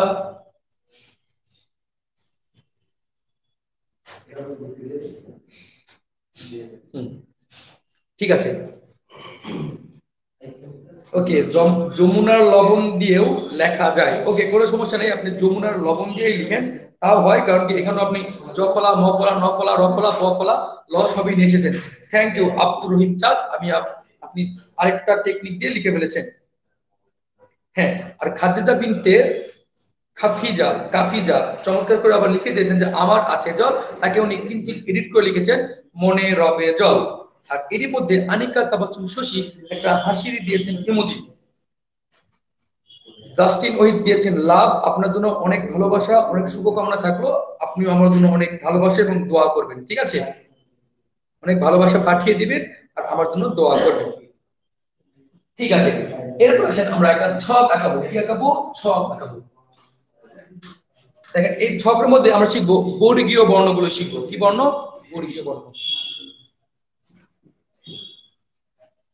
ওকে আমরা সবাই জানি, চমৎকার করে জানি যে বাংলায় বর্গীয় বর্ণ আছে পঁচিশটি। বলেন, বর্গীয় বর্ণ আছে পঁচিশটি। এই বর্গীয় বর্ণের সঙ্গে আরেকটা নতুন কন্দল এখন শুরু হয়েছে, তা হচ্ছে স্পর্শ বর্ণ ঠিক আছে? এই স্পর্শ বর্ণনে আমি একটু পরে আলোচনা করছি। আগে আপনারা খাতায় ছটফট লিখে নিন যে বাংলায় বর্গীয় বর্ণ আছে কয়টি? উত্তর হবে পঁচিশটি। ঠিক আছে?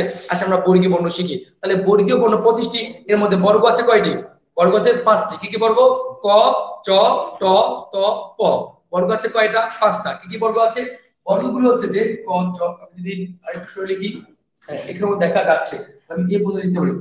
বর্গ আছে হচ্ছে ক, তার লিখলাম চ, তারপরে ট, তার লিখলাম ত, এবং সর্বশেষ যে বর্গ, তার নাম হচ্ছে প। পর পরে কি আছে? খ গ ঘ উম। আলোর মধ্যে কি চলে গিয়েছে? হ্যাঁ একটু আলোর মধ্যে চলে গিয়েছে। উমোটা দেখা যাচ্ছে, পরবর্তী দেখব চর পরে কি আছে? ছ।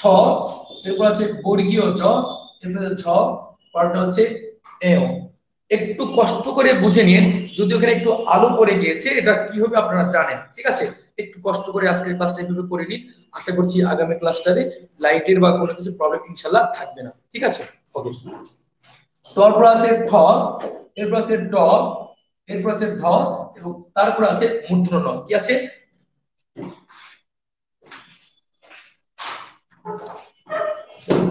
আমার লাইটটা একটু সরে গিয়েছে, আপনারা হয়তো দেখতে পাবেন না। ওকে এখন হয়তো আরেকটু ভালো দেখা যাচ্ছে। যদিও আলো আছে, আলোটাকে রিডিউস করা ওকে এখন এই মুহূর্তে পসিবল না, কিন্তু আমাকে দেখানো পসিবল ওকে তাহলে এইটুকু ঠিক আছে। এরপর আছে পর পর তর পর আছে থ। তারপর আছে দ, তারপর আছে ধ লাস্ট ওয়ান হচ্ছে তন্ত ন পর পর আছে ফ, তারপরে ব, তারপর হচ্ছে ভ, তারপরে ম। অনেকেই হয়তো বিরক্ত হয়ে যাচ্ছেন, বলছেন যে, স্যার বা ভাইয়া, কি সব শেখানো শুরু করছে? এসব সেই ছোট্টবেলা বা বাচ্চাকালে শিখে এসেছি। উনি এই বুড়ো বয়সে এসে আবার ক, খ গ ঘ শিখাচ্ছেন। এই যন্ত্রণা থেকে রেহাই পেতে চাই। কিচ্ছু করার নাই। এখান থেকে অনেক কিছু শেখার আছে। আপনাকে শিখতে হবে। ঠিক আছে? দেখেন, এই যেখানে পাঁচটা বর্গ এই পাঁচটা বর্গে প্রত্যেকটা বর্গে পাঁচটা করে বর্ণ আছে। আপনারা জানেন যে গুণ আমার আমিও মোটামুটি এইটুকু শিখেছি যে পাঁচ গুণন পাঁচ ইকুয়াল কত হয়? পঁচিশ। এই পঁচিশটি বর্ণকে আমরা একসঙ্গে বলি বর্গীয় বর্ণ। কি বর্ণ বলি? বর্গীয় বর্ণ। এখন আমরা এটাকে দুই ভাগে ভাগ করব। বলেন, কয় ভাগে ভাগ করব? দুই ভাগে। এর মধ্যে ছোট্ট একটা আইকিউ টেস্ট করে নিই। বলেন তো, এই, এখানে যে বর্গগুলো আছে, এই বর্গগুলোকে দুই ভাগ গেলে আমাকে কয়টি টান দিতে হবে? সবাই একটু ঝটপট উত্তর করবেন। আমি ভাগ করব। ভাগে ভাগ করলে আমি টান দেবো কয়টি? এদিকে একটু কমেন্ট চেক করে দেখি কি অবস্থা আপনাদের। স্বর্ণাপু দেখছি সুপার ফাস্ট ওনাকে শুধু বলা, বলতে কত দেরি, লিখতে ওনার কোনো দেরি হয় না।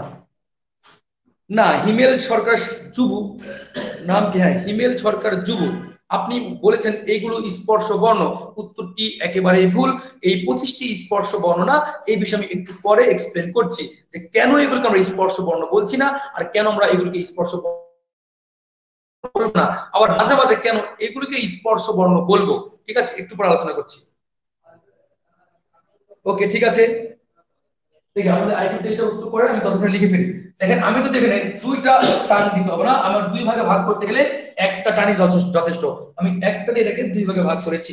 দেখেন, এই পাশের যে ভাগটা আছে, আমি এই পাশের বর্ণগুলিকে বলছি অঘোষ বর্ণ। কি বর্ণ? অঘোষ বর্ণ। আর এই পাশে যে বর্ণগুলো আছে, তাকে বলছি আমি ঘোষ বর্ণ। কি বর্ণ বলছি? ঘোষ বর্ণ। ক্লিয়ার বুঝতে পেরেছেন? আপনাদের আইকিউ অনেক ভালো। অনেকে উত্তর করছে যে একটা, একটি একটি মিরাজ ইসলাম নাজিম উনি অনেকগুলো এক লিখেছেন। উনি বোঝাতে চেয়েছেন যে এক হাজার একশো এগারো বা এক লক্ষ একশো এগারো এইভাবে না, একটি বোঝাতে চেয়েছেন। গুড আপনাদের আইকিউ অনেক আপনারা ম্যাথ নিয়েছে ভালো। তো সুযোগ পেলে আমাকে একটু ম্যাথ শেখাবেন ইনশাল্লাহ এবং আমি আপনাদের কাছ থেকে শিখতে চাই। আচ্ছা ঠিক আছে। ওকে এখন দেখেন, এই পাশের যে বর্ণগুলো আছে, আমরা একবারেই বলছি পাশের সবগুলিকে বলছি ঘোষ বর্ণ। আসেন অঘোষ আর ঘোষ বলতে কি বুঝি? অঘোষ হচ্ছে যে বর্ণগুলো উচ্চারণ করতে গিয়ে আমাদের স্বরতন্ত্র বা গলা অনুরণিত হয় না অথবা কম্পিত হয় না, আমরা তাকেই বলছি অঘোষ বর্ণ। আর যে ধ্বনিগুলো বা বর্ণগুলো উচ্চারণ করতে গেলে স্বরতন্ত্র বা গলা অনুরণিত অথবা কম্পিত হয়, আমরা তাকেই বলছি ঘোষ বর্ণ। আসেন শর্টকাট একটা উদাহরণ নিই। উদাহরণ কি? আপনি যদি উচ্চারণ করেন ক, খুব সিম্পলি খুব সিম্পলি উচ্চারণ করেন তো ক। ক উচ্চারণ করতে কিন্তু কণ্ঠ থেকে ইজিলি উচ্চারিত হচ্ছে। কিন্তু এবারে একটু উচ্চারণ করে দেখেন তো ঘ। দেখেন, যখনই আপনি ঘ উচ্চারণ করতে যাচ্ছেন, তখনই কিন্তু আপনার গলাটা বা স্বরটা একটু কেঁপে উঠছে। আর যেগুলো কেঁপে উঠছে, আমরা সেগুলোকে বলছি ঘোষ বর্ণ আর যেগুলো কাঁপছে না, সেগুলো বলছি অঘোষ বর্ণ তবে আপনার জন্য অতি পরিতাপের বিষয় হচ্ছে, আপনি কিন্তু এই গলা কাপাকাপির উপর নির্ভর করে এই বর্ণগুলো বের করতে পারবেন না। কারণ আপনি জানেন না যে কোন বর্ণ কোথা থেকে উচ্চারিত হয়? কোনটি কণ্ঠ থেকে উচ্চারিত হয়? কোনটি জিভা থেকে, কোনটি অগ্রতালু? মানে উচ্চারণের স্থান ভালো করে জানেন না, সঠিক উচ্চারণ জানেন না। দ্যাটস আপনি এভাবে মানে বের করতে যাবেন না। আপনার কাজ হচ্ছে টেকনিক ফলো করা। কি টেকনিক যে এই যে পঁচিশটা বর্গের প্রথম যে দুটো বর্গ আছে, এই দুটো বর্গকে বলব আমরা অঘোষ বর্ণ আর বাকির দিকে এই দিকে যে বর্গ মানে বর্ণগুলো আছে, তাকে বলব ঘোষ বর্ণ এইটা আপনার জন্য বেশি সুবিধা হয়। আপনাকে আমি এই বিষয়ে আলোচনা করছি যে মৌলিক সহজনী কয়টি? সব বিষয়ে আলোচনা করছি। জাস্ট একটু আমাকে ধৈর্য ধরে আমি একটা সিরিয়ালে আসব। একটা সিরিয়াল ব্রেক করে অন্য প্রশ্ন উত্তর দিতে গেলে মাঝখানে একটু হ্যারাসমেন্ট হয়ে যায়। ঠিক আছে? আমি আপনার প্রশ্নটা মাথায় রাখলাম এবং এই প্রশ্নটা আমারও মাথায় আছে। যেগুলো একটু কনফিউজিং সেগুলো নিয়ে আজকে একটু বেশি কথা বলব। ঠিক আছে? Just wait for a while. Okay এখন দেখেন তো আমরা ঘোষ আর অঘোষ শিখে গেলাম। এরই মধ্যে আবার এগুলোকে দুই ভাগে ভাগ করা হয়েছে। একটা হচ্ছে অল্প প্রাণ বর্ণ বা অল্প প্রাণ ধ্বনি, আর একটা হচ্ছে মহাপ্রাণ বর্ণ বা মহাপ্রাণ ধ্বনি। আসলে আমরা ধ্বনি বলব। আসলে অল্প প্রাণ বলতে কি বুঝি? দেখেন, প্রাণ মানে কি বাতাস বুঝি? প্রাণের অস্তিত্ব কার মধ্যে? বাতাসের মধ্যে। বাতাস তারা কি আমরা প্রাণ কল্পনা করতে পারি? না, করতে পারি না। এখন অল্প প্রাণকে দেখেন, যে বর্ণগুলো উচ্চারণ করতে গেলে ফুসফুস তাড়িত বাতাস কম বের হয় বা অল্প বের হয়, তাকে বলছি আমরা অল্প প্রাণ। আর যে বর্ণগুলো বা ধ্বনিগুলো উচ্চারণ করতে গেলে ফুসফুস তাড়িত বাতাস বেশি বের হয়, তাকে বলছি আমরা মহাপ্রাণ ঠিক আছে? শর্টকাট টেকনিক আমরা আবার একটা করে চমৎকার করে ছক আঁকাবো ছক আঁকাবো না? একটা টানলাম, এটা হচ্ছে অল্প প্রাণ পরটা মহাপ্রাণ। ওকে, এইভাবেই করতে পারি। দেখেন, এর প্রথমটা হচ্ছে অল্প প্রাণ প্রথমটা কি প্রাণ? অল্প প্রাণ পরটা কি প্রাণ? মহাপ্রাণ। আবার প্রথমটা কি প্রাণ? অল্প প্রাণ এটা হচ্ছে মহাপ্রাণ। এবং সর্বশেষে কি প্রাণ অল্প প্রাণ এখন দেখেন, এই স্থক আঁকানোর পরেও যদি আপনার মনে না থাকে, মাথার মধ্যে যদি প্যাচ লেগেই থাকে বা ঝামেলা চলতেই থাকে, তাহলে এখানে শর্টকাট একটা টেকনিক আছে। টেকনিক কি? আপনি আপনার মুখের কাছে হাত রাখবেন। মুখের কাছে সবাই হাত রাখেন হাত রাখে, সবাই উচ্চারণ ক। সবাই উচ্চারণ ক। দেখেন, কতে কি কোনো বাতাস আসে? না, কতে কোনো বাতাস আসে না বা আসলেও খুবই অল্প, যা আমরা ইগনোর করতে পারি। এইবার আপনি মুখের কাছে হাত রেখে উচ্চারণ করে দেখেন তো খ। দেখেন, খ। খ উচ্চারণ করে দেখবেন যে অনেক বড় একটা বাতাসের ধাক্কা এসে হাতে লাগছে। মনে হচ্ছে যে হাতটা আপনার উড়িয়ে যাবে। আসলে এত বাতাস না, মোটামুটি একটা বাতাস ফিল হয়। দেখেন, এই যে বাতাসটা পাচ্ছি, যেটাতে আমরা বাতাস বেশি পাচ্ছি, সেটাকে বলছি আমরা মহাপ্রাণ ধ্বনি ঠিক একইভাবে আরেকবার উত্তর করে দেখেন তো, ট ট, দেখেন, ট উচ্চারণ করার সময় কিন্তু বাতাসের খুব অল্প একটা মানে ধাক্কা লাগছে মানে বোঝা যাচ্ছে না। কিন্তু উত্তর করেন ঠ, দেখেন, ঠ উচ্চারণ করার সময় ঠিকই হাতের তার মধ্যে একটা বড় ধরনের বাতাসে ধাক্কা লাগছে। কারণ কি বাতাসের চাপটা বেশি বা ফুসফুস বাতাস বেশি বের হচ্ছে। আর যে ধ্বনিগুলোতে বা বর্ণগুলোতে ফুসফুস বাতাস বেশি বের হচ্ছে, আমরা বলছি মহাপ্রাণ ধ্বনি ক্লিয়ার সবাই কি বুঝতে পেরেছেন?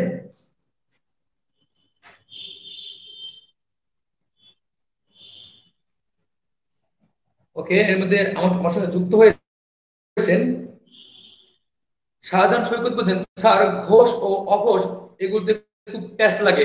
প্যাস তো আমি মিটিয়েই দিলাম, কত শর্টকাট টিপ দিয়ে মিটিয়ে দিলাম। প্রথম দুটা পেলাম ক, ঘ, চ, ছ, ট প ফ ব্যাস হয়ে গেল। কি, ঘোষ। এখন তানিয়া আহমেদ তিনা বলেছেন, আরও ফার্স্টে বলা আছে ঠিক আছে, আমি একটু পরে ওগুলো উত্তর দিচ্ছি। এখন দেখেন, এই যে এই পাশে আরও একটা গ্রুপ আছে, এটা অল্প জানেন। এই গ্রুপের আবার এক্সট্রা করে আরও একটা নাম আছে। এই গ্রুপের আরেকটা নাম হচ্ছে নাসিক্য নাম কি? নাসিক্য কারণ কি দেখেন, এখানে যতগুলো বর্ণ আছে, এখানে যতগুলো বর্ণ আছে, সবগুলো বর্ণ উচ্চারণ করতে গেলে আপনার নাকের সাহায্য লাগবে। আপনি একটা বর্ণ নাক বন্ধ করে রেখে বা চেপে উচ্চারণ করতে পারবেন উচ্চারণ করা যাবে, কিন্তু সঠিক উচ্চারণ আসবে না। যেমন দেখেন, আপনাকে যদি উচ্চারণ করতে বলি বাংলাদেশ, একবার নাকটা চেপে বাংলাদেশ উচ্চারণ করে দেখেন তো, কেমন একটু অস্বস্তি বা বিরক্তি হচ্ছে? সঠিকভাবে উচ্চারণ করা যাচ্ছে? না যাচ্ছে না। তার মানে এই বর্ণগুলো কিন্তু নাক লাগে। তো পরীক্ষায় যদি প্রশ্ন আসে, নাসিক্য বর্ণ কয়টি? অনেকেই আবেগে উত্তর দিয়ে ফেলে, নাসিক্য বর্ণ পাঁচটি। কিন্তু উত্তরটি সম্পূর্ণই ভুল। কেন ভুল দেখেন? যে বর্ণগুলো উচ্চারণ করতে নাক লাগবে, সেইগুলোকে তোমার নাসিক্য বর্ণ বলব। শুধু কি এই পাঁচটাতেই কি উচ্চারণ করতে নাক লাগে? না। এছাড়াও এই বর্গীয় বর্ণ ছাড়াও আরও দুইটি বর্ণ আছে, যেগুলো উচ্চারণ করতে নাকের সাহায্য লাগবে। যেমন দেখেন, যদি দেখে আমি অনুস্বর কি লিখলাম? অনুস্বর দেখেন এই অনুস্বর উচ্চারণ করতে গেলেও কিন্তু আপনার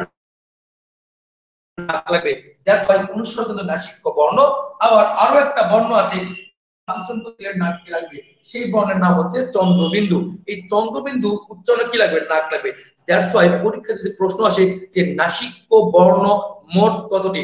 এটার উত্তর হবে সাতটি। কয়টি হবে? সাতটি। কারণ কি এই সাতটা বর্ণ উচ্চারণ করতে গেলেই আপনার নাকের সাহায্য লাগবে। বুঝতে পেরেছেন? ওকে, এইবার আসেন স্পর্শ একজন ঝামেলা করেছিলেন বা ঝামেলা না, আসলে উনি প্রশ্ন করেছিলেন, উনি প্রথমে বলেছিলেন যে স্পর্শ বর্ণ আছে পঁচিশটি, কিন্তু আমি এখানে ভ্যাটু দিয়েছিলাম। ভ্যাটু দিয়ে বলেছিলাম যে স্পর্শ বর্ণ পঁচিশটি না, স্পর্শ বর্ণ হচ্ছে ষোলোটি। স্পর্শ বর্ণ কয়টি? ষোলোটি। ওকে, এই দুটো আমি আপাতত মিশিয়ে দিলাম। আপনারা জেনে গিয়েছেন যে নাসিক্য বর্ণ সাতটি, তার মধ্যে এই দুটা বর্গীয় বর্ণের বাইরে। এই বর্গীয় বর্ণগুলোর সঙ্গে একটু স্পর্শ বর্ণের কনফ্লিক্ট আছে। দেখেন কনফ্লিক্ট কি? এই যে নাসিক্য বর্ণ আছে এইগুলো নাসিক্য বর্ণ বলে এই পাঁচটা বা। এই পাঁচটা নাসিক্য বর্ণ। আবার দেখেন এইদিকে আছে চ, ছ, জ, ছ। এই চারটা বর্ণ, এই চারটা বর্ণকে বলে ঘৃষ্ট বর্ণ। কি বর্ণ? ঘৃষ্ট বর্ণ। আবার দেখ, এই যে নাসিক্য দিকে যে পাঁচটা বর্ণ আছে, বর্গীয়র মধ্যে, এগুলো কিন্তু বর্গীয়র মধ্যে নাসিক্য বর্ণ কয়টা? পাঁচটা। এই পাঁচটা বর্ণ বাদ। আবার দেখেন এই যে চ, ছ, জ, ঝ, এই চারটাকে বলা হচ্ছে ঘৃষ্ট বর্ণ। এই ঘৃষ্ট চারটা বর্ণ বাদ। এখন দেখেন, এইদিকে পাঁচটা, ওইদিকে চারটা। তাহলে মোট বর্ণ বাদ হচ্ছে কয়টি? নয়টি। আপনারা ম্যাথমেটিক্স অনেক ভালো আমি জানি, নয়টি। এখন দেখেন, আমরা জানি যে মোট বর্গীয় বর্ণ কয়টি? বর্গীয় বর্ণ পঁচিশটি। এই পঁচিশটি বর্ণ থেকে এই নয়টা বর্ণ বাদ দেন। বাদ দিতে হবে কয়টি? ষোলোটি। এই ষোলোটি বর্ণকে বলা হয় স্পর্শ বর্ণ। আর এই যে স্পর্শ বর্ণ ষোলোটি, এটা কিন্তু আমার মুখের কথা না, এটা বাংলা একাডেমির যে ব্যাকগ্রাউন্ড আছে ষোলো কি সতেরো সালে রিলিজ হয়েছিল, এই সতেরো সালের বইটাতে স্পষ্ট করে দেওয়া আছে যে বাংলায় স্পর্শ বর্ণ কয়টি? পঁচিশটি। কোন নয়টি? সরি স্পর্শ বর্ণ ষোলোটি। কোন নয়টি বা এই পাশে যে নাসিক্য বর্ণ আর এই হচ্ছে এটা বাদ এখন পরীক্ষার প্রশ্নে যদি অপশন থাকে ষোলোটি, তার মানে যিনি প্রশ্ন করেছেন, উনি হান্ড্রেড পার্সেন্ট বাংলা একাডেমিকে ফলো করে প্রশ্ন করেছেন। কারণ উনি জেনে গিয়েছেন যে এখন স্পর্শ বর্ণ কয়টি? ষোলোটি। নইলে কিন্তু উনি অপশনে ষোলো দিতেন না। কারণ কি পঁচিশের সঙ্গে পাঁচের কোন জায়গায় অপশন দিতেন। দিতে পারতেন বিশটি, পঁচিশটি, তিরিশটি, এভাবে অপশন দিতেন। যেহেতু অপশনে ষোলোটি দিয়েছেন মানে উনি জানেন যে এটার উত্তর অবশ্যই ষোলোটি হবে। দ্যাটস পরীক্ষা যদি কোথাও অপশনে থাকে যে স্পর্শ বর্ণ কয়টি এবং অপশনে যদি থাকে ষোলোটি, উত্তর দাগাবেন ষোলোটি। এটাই রাইট অ্যান্সার এবং বেস্ট অ্যান্সার আশা করছি আমার বুঝতে পেরেছেন। তানিয়া আহমেদ কিনা উত্তর করেছে যে নাসিক্য বর্ণ পাঁচটি। উত্তরটি ভুল। উত্তরটি ভুল।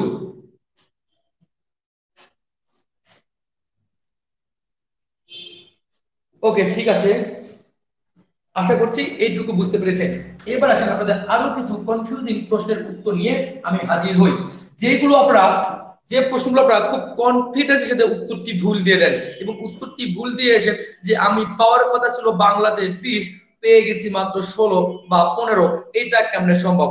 কারণ কি এটা আসলে এমনি সম্ভব? দেখেন, একটু আমি কয়েকটা প্রশ্ন উত্তর দিয়ে দিচ্ছি, তাহলে বিষয়টা ক্লিয়ার হয়ে যাবে। আপনি জেনে গিয়েছেন বা আপনি জানেন যে বাংলায় বর্ণ আছে উনচল্লিশটি। এখন দেখেন, একটু প্রশ্ন একটু ঘুরিয়ে দিতে দেয় করে যে বাংলায় ব্যঞ্জন ধ্বনি আছে কয়টি? সবাই উত্তর করতে দেখি, যে বাংলায় ব্যঞ্জন ধ্বনি আছে কয়টি? ঝটপট উত্তর দেখি কি অবস্থা। হ্যাঁ ষোলো থাকলে অবশ্যই ষোলো দাগাবেন আর যদি অপশনে ষোলো না থাকে, তাহলে পঁচিশ দাগাবেন ঠিক আছে? Okay Abdur Rahim thank you আপনি অনেক ভালো কাজ করেছেন।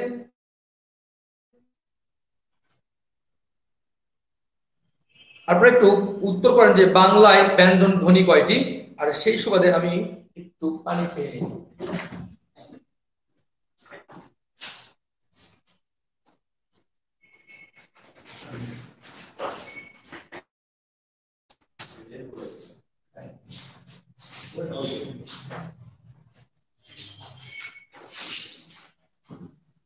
ওকে আপনারা উত্তর করা শুরু করেছেন।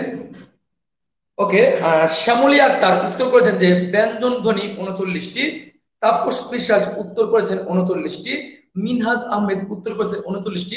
আমি উত্তরগুলো দেখছি আর বড়ই খুশি হচ্ছি। আবার এর মধ্যে আবার মুকসিদুর মমিন উত্তর করেছেন বত্রিশটি।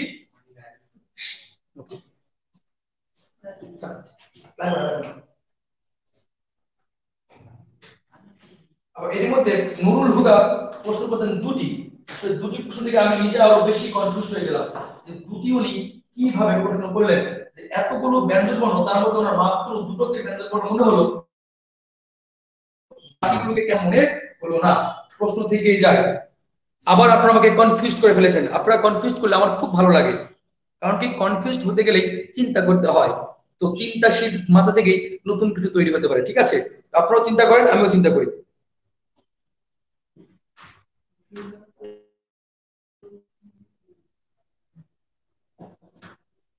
আসেন। আমরা খুঁজি যে আসলে প্রকৃত পক্ষে যে বাংলায় ব্যঞ্জন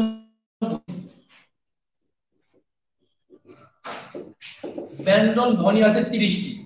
ব্যঞ্জন ধ্বনি কয়টি? তিরিশটি। এখন ধ্বনি আর বর্ণের মধ্যে পার্থক্যের একটু সূক্ষ্ম বিষয় আছে। দেখেন, যা আমরা তিরিশটা এমন জায়গায় পড়ে গেছে, দেখা যাচ্ছে আমি একটু নিচে লিখছি। মানে আজকে বোর্ডের লাইটটা এমন জায়গায় পড়ছে, যে জায়গাটা লেখার জন্য একদম বেসিক স্পেস সে জায়গাতে পড়ে গেছে আলো।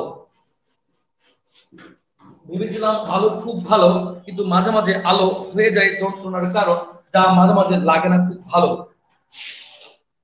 ওকে ব্যঞ্জন বর্ণ আছে উনচল্লিশটি। কয়টি আছে? উনচল্লিশটি। আবার আলোর মধ্যে পড়ে গেল। মানে অভ্যেস মানে যেখানে লেখার অভ্যেস, সে জায়গা দিয়ে চলে যায় লেখা। ওকে এখানে লেখা দেখাচ্ছি। ব্যঞ্জন বর্ণনা সরি ব্যঞ্জন ধ্বনি। ব্যঞ্জন ধ্বনি হবে তিরিশটি। এখন বলতে পারেন যে ব্যঞ্জন ধ্বনি তিরিশটি কেমন করে হচ্ছে? দেখেন, ধ্বনি মানে কি? যা আমরা উচ্চারণ করি। বাংলাতে বা বাংলা ব্যঞ্জন বর্ণে কিছু কিছু বর্ণ আছে যেগুলোর ধ্বনি একই রকম। উচ্চারণ করলে একই রকম পাই। যেমন দেখেন, যদি আমি লিখি পানি, কি লিখলাম? পানি। এই যে পানি আছে, লিখেছি মুদ্র নদে। এই পানি মানে হচ্ছে হা আবার দেখেন যদি লিখি পানি, এই পানি হচ্ছে খাবার পানি। ঠিক আছে, এটা হচ্ছে খাবার পানি বা জল। তাই না? দেখেন, দুইটাই কিন্তু পানি। এটাও পানি এটাও পানি। দেখেন, দুইটা নয়ের উচ্চারণ কি একই? উচ্চারণিত ধ্বনি। তারপরে দেখেন, এখানে বর্ণ পাচ্ছেন দুইটা। মূর্ধন্য দন্ত ন বর্ণ দুইটা। কিন্তু ধ্বনি একটা ধ্বনি কয়টি? ধ্বনি একটি। আবার দেখেন, যদি কি বর্গীয় অন্তস্থীয় জ, দেখেন বর্ণ কয়টা? দুইটা, উচ্চারণ কয়টা? একটা আবার দেখেন, অনুস্বর এবং উম বর্ণ কয়টা? দুইটা ধ্বনি কয়টা? একটা। আবার দেখেন তালব্য স মূর্ধন্য স তালব্য এবং মূর্ধন্য স দুইটারই উচ্চারণ কিন্তু একই। স উচ্চারণ হবে। কিন্তু দেখেন, বর্ণ কয়টা? দুইটা। উচ্চারণ কয়টা? একটা। আমরা এইভাবে মোট নয়টি ধ্বনিকে ছোট করতে পারি মানে শর্টকাট করতে পারি। তাহলে দেখেন, মোট ব্যঞ্জন বর্ণ কয়টি? উনচল্লিশটি। তাহলে উনচল্লিশ মাইনাস নয় বা নাইন তাহলে কত হচ্ছে? তিরিশটি। এই জন্য ব্যঞ্জন ধ্বনি তিরিশটি, এটাই কনফার্ম প্রশ্নতে একটু ক্রিটিক্যাল আকারে দেয় যে ব্যঞ্জন বর্ণ কয়টি? উত্তর হবে তিরিশটি। আশা করছি ব্যাপারটা বুঝতে ঠিক আছে?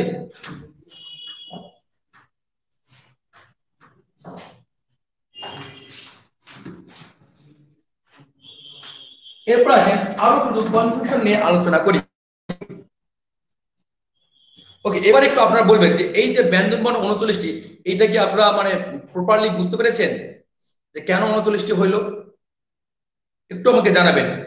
আর যারা লাইভটি অনেকক্ষণ থেকে দেখছেন, আশা করছি আপনাদের ক্লাসটি ভালো লাগছে। তো যারা ভালো লাগছে মনে হচ্ছে, তারা কাইন্ডলি লাইভটা শেয়ার করে দেবেন। তাহলে অন্যদের দেখে ভালো লাগবে ইনশাল্লাহ আরেকবার বুঝালে ভালো হয়, স্যার। ঠিক আছে, আমি আরেকবার বোঝাচ্ছি অন্য কিছু দিয়ে।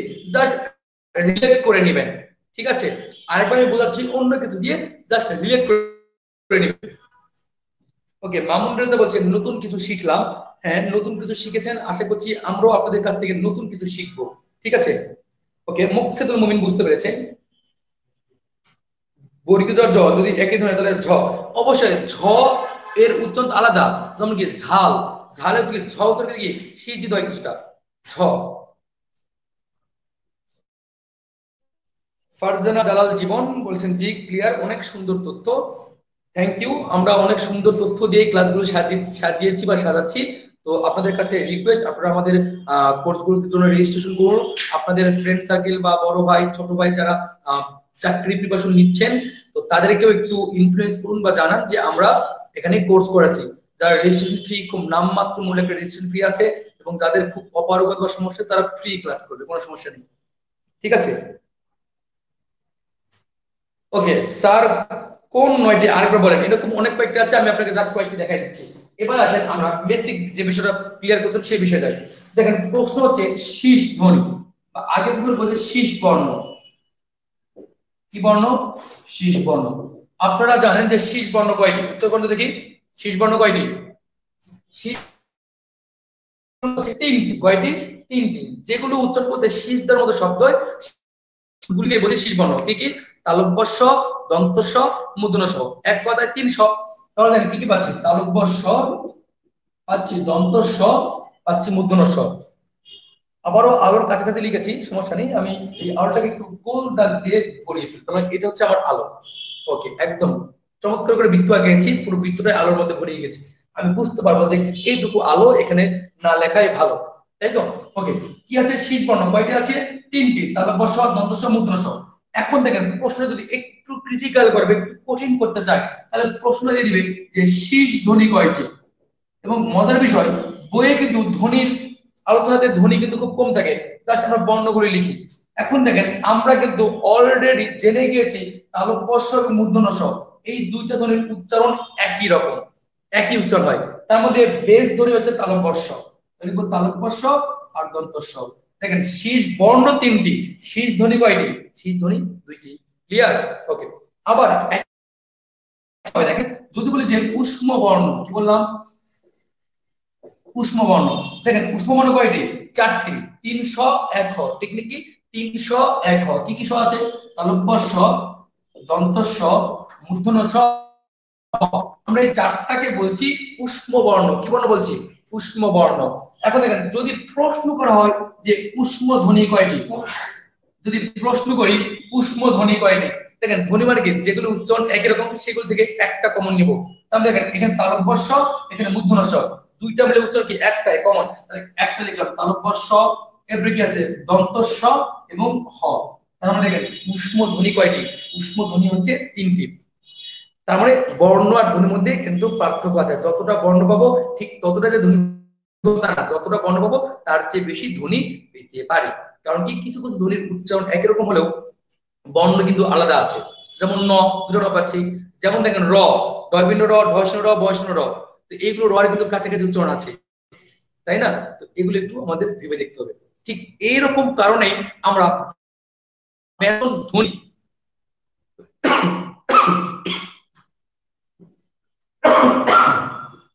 ঠিক এই একই রকম কারণে আমরা ব্যঞ্জন ধ্বনি বলছি উনচল্লিশটি।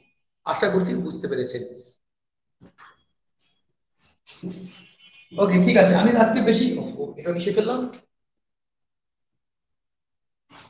কাছাকাছি যেগুলো একটু কনফিউজিং যেগুলোতে আপনাদের প্রবলেম হয়, সেই বিষয়গুলো আলোচনা করেছি। এবার আসেন, আমি আপনাদের একটু ব্যাকরণের হিস্টোরি নিয়ে আলোচনা করি, ঠিক আছে? ব্যাকরণের হিস্টোরি আলোচনা করলে আশা করছি ভালো লাগবে। আর আমি ক্লাসটা হয়তো অলরেডি পনেরো মিনিট আর দশ পনেরো মিনিট পড়াইলি আশা করছি আজকের টপিকসগুলো তুলনামূলক শেষ হয়ে যাবে এবং আপনারা যদি বাসায় বসে বাংলা আরও একটু ভালো জানবেন। ওকে স্যার আজকে কি নত্য আলোচনা করবেন? আমার দৃষ্টিতে মনে হচ্ছে না যে আজকে নত্য বিধান আলোচনা করতে পারব। যেহেতু সময় অলরেডি এক ঘণ্টা পনেরো মিনিট হয়ে গিয়েছে, আবার ব্যাকরণ পার্ট আলোচনা করে একটা লাইভ ক্লাস যদি আমি অলরেডি এক ঘণ্টা পনেরো মিনিট হয়ে গেছে, এর বেশি যদি লাইভ ক্লাসে লেন্দি করি বা বড় করি, তাহলে এটা অনেকেরই বিরক্তির কারণ হয়ে যাবে। নেট সমস্যা থাকে, আবার ডাটা বা ওয়াইফাই এর বিষয় থাকে। তো অনেক কিছু বিবেচনা করে ক্লাসটাকে আমরা ছোট করার ট্রাই করি। একটা ক্লাসের ডিউরেশন পূর্ণ ক্লাসের এক ঘণ্টা থেকে দেড় ঘণ্টা হলে এটাই মনে হয় স্ট্যান্ডার্ড একটা ক্লাসের টাইম থাকে। যদি সময় থাকে বা সবকিছু ঠিকঠাক থাকে, হয়তো পড়াবো, নতুবা না পড়ালে আপনারা অবশ্যই আগামী যে ক্লাসগুলো যেগুলো আমাদের মানে ফেসবুক যে সিক্রেট গ্রুপ বা প্রাইভেট গ্রুপ আছে, এই গ্রুপে ইনশাল্লাহ পাবেন, ঠিক আছে? আশা করছি সব ক্লাসে পাবেন। ওকে অলরেডি আমার সঙ্গে যুক্ত হয়েছেন বিল্লাল হোসেন স্যার আরও যুক্ত আছে আরিয়ান আরাফ। ওকে হ্যাঁ যুক্ত হয়েছেন মোবাশ্বের আলী আপু, উনি আমার পরিচিত একজন আপু। স্যার, সমাস কোন দিন পড়াবেন? সমাস অনেক বড় চ্যাপ্টার খুব চমৎকার চ্যাপ্টার একটা ক্লাসে কখনোই সমাস করা সম্ভব না। সমাসের জন্য মিনিমাম দু থেকে তিনটি ক্লাস লাগে। তো যেদিন আমরা গ্রুপে ক্লাস নেব, একটা একটা খন্ড খন্ড করে সমাসের ক্লাস নিব। আমি বেসিক্যালি অনেকগুলো ক্লাস নিয়ে ফেলছি। সমাসের ক্লাসটাই লাইভ ক্লাসে বাকি আছে। যদি ওরকম সুযোগ থাকে, তাহলে একদিন সমাস করানো হবে। তবে সমাস আমরা বেশিরভাগ মানে আশা করছি আপনি গ্রুপে সমাসের ক্লাস পেয়ে যাবেন। আপনি আমাদের রেজিস্ট্রেশনটা কমপ্লিট করুন। রেজিস্ট্রেশন কীভাবে করবেন, কীভাবে করতে হয়, সব আমাদের পেজে দেওয়া আছে। জাস্ট পেজে গিয়ে জানাবেন, অথবা আমাদের অফিসিয়াল যে নাম্বারটা আছে, এই নাম্বারে কাইন্ডলি একটু যোগাযোগ করবেন। রেজিস্ট্রেশন করে আপনি গ্রুপে জয়েন করেন, ওখানে সবগুলো ক্লাস একদম সিরিয়াল বা লেকচার শিট অনুযায়ী পাবেন। লেকচার শিটও পেয়ে যাবেন ক্লাসও পেয়ে যাবেন, ইনশাআল্লাহ। ঠিক আছে?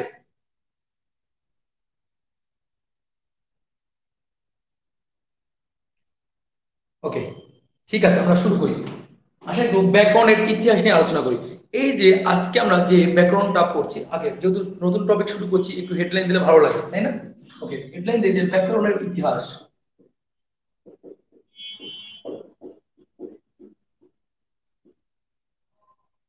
লেখা আমার যদিও ভালো না, ভালো হয়নি, তবে আপনারা একটু সুন্দর করে লিখবেন, ঠিক আছে? আমি জাস্ট বলে দিচ্ছি, আপনারা লিখবেন। আসে আমরা, এখন শিখব ব্যাকরণের ইতিহাস। ব্যাকরণের ইতিহাস দেখেন, এই যে আমরা আজকে যে বাংলা ব্যাকরণটা পেয়েছি, এটা কিন্তু একদিনের ফলাফল না। অনেক দিন থেকে গবেষণার মাধ্যমে পরিবর্তিত হতে এই নিয়ে চর্চা করতে করতে আজকে একটা মোটামুটি স্টেবল একটা ব্যাকরণ পেয়েছি। যদি আমরা ব্যাকরণের ইতিহাস নিয়ে আলোচনা করি, তাহলে প্রথমেই এই ভারতীয় উপমহাদেশের ব্যাকরণ নিয়ে আলোচনা করব। এই ভারতীয় উপমহাদেশের যে ব্যাকরণবিদ যিনি ব্যাকরণ রচনা করেছেন, সেই ভদ্রলোকের নাম হচ্ছে পানিনি। ভদ্রলোকের নাম কি? পানিনি। এই পানিনি একটা ব্যাকরণ রচনা করেছিলেন। সেই ব্যাকরণের নাম ছিল অষ্টাধ্যায়ী। ব্যাকরণ নাম কি ছিল? সরি অষ্টাধ্যায়ী বারোটা একটু ভুল লিখেছি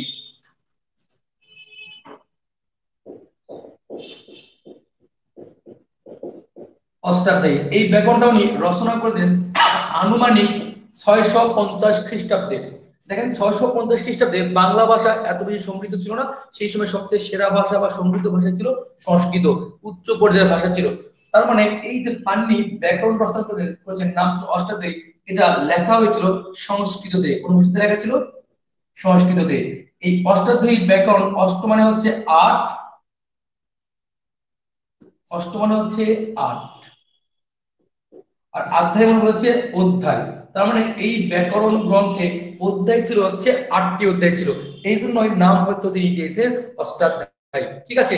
আমি আবার রিপিট করছি, এই ভারতীয় উপমহাদেশের প্রথম ব্যাকরণবিদদের নাম হচ্ছে পানিনি। এই পানিনি ছয়শো পঞ্চাশ খ্রিস্টাব্দে একটা ব্যাকরণ রচনা করেছেন। সেই ব্যাকরণের নাম ছিল অষ্টাধ্যায়ী। আর অষ্টাধ্যায়ী ব্যাকরণ গ্রন্থটি লেখা হয়েছিল সংস্কৃত ভাষায় এবং যাতে অধ্যায় ছিল কয়টি? আটটি।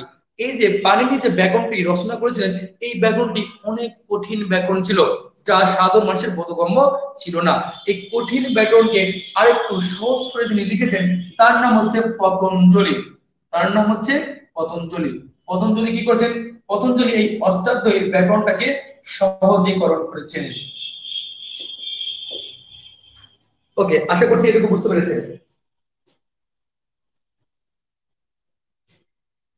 রেজিস্ট্রেশন করার পরে আপনাকে হ্যাঁ একজন কমেন্ট করেছে যে তাবাসসুম এসে যে রেজিস্ট্রেশন এর কতক্ষণ পর অ্যাড করা হবে। রেজিস্ট্রেশন করার পরে আপনাকে মেসেজ দেওয়া হবে মেসেজের গ্রুপে লিংক দেওয়া হবে, আপনাকে অফিসিয়ালি গ্রুপে অ্যাড করা হবে। আরিয়ান আরব বলেছেন, ভাইয়া, আপনার ক্লাসগুলো মিস করতে চাই না। কোন কোন দিন আপনার ক্লাস হয়, কোন কোন দিন আপনার ক্লাস হয় জানাবেন।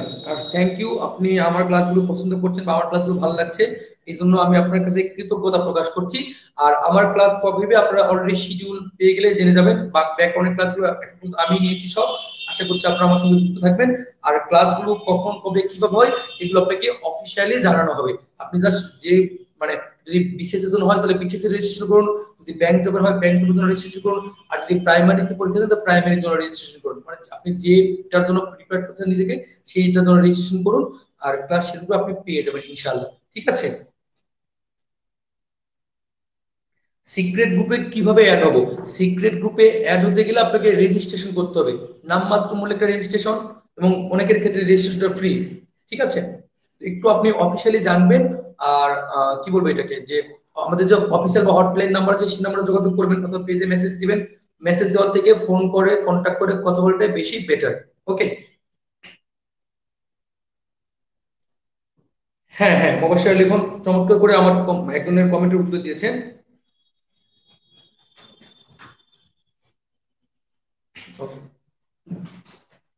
ঠিক আছে, আশা করছি পানিনির কাহিনী শেষ। পানিনি নিয়ে আর কোনো কাহিনী বলছি না।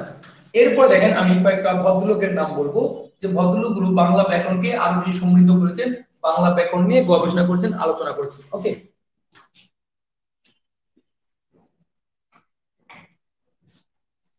আচ্ছা এরপর আমরা দ্বিতীয় যে নামটা উচ্চারণ করব, তার নাম হচ্ছে ম্যানুয়াল দা আসুম সাউ। খুব চমৎকার একটা নাম। আচ্ছা উপরে লিখছি, তাহলে জায়গা ধরবে।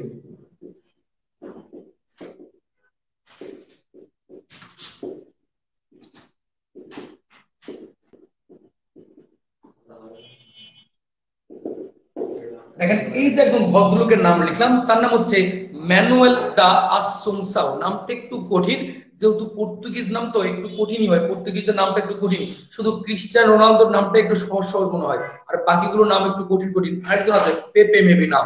নাম দিয়েছে তার পেঁপে, যা আমরা বাজারে সবজি হিসেবে খাই তার নামটাই হচ্ছে পেঁপে।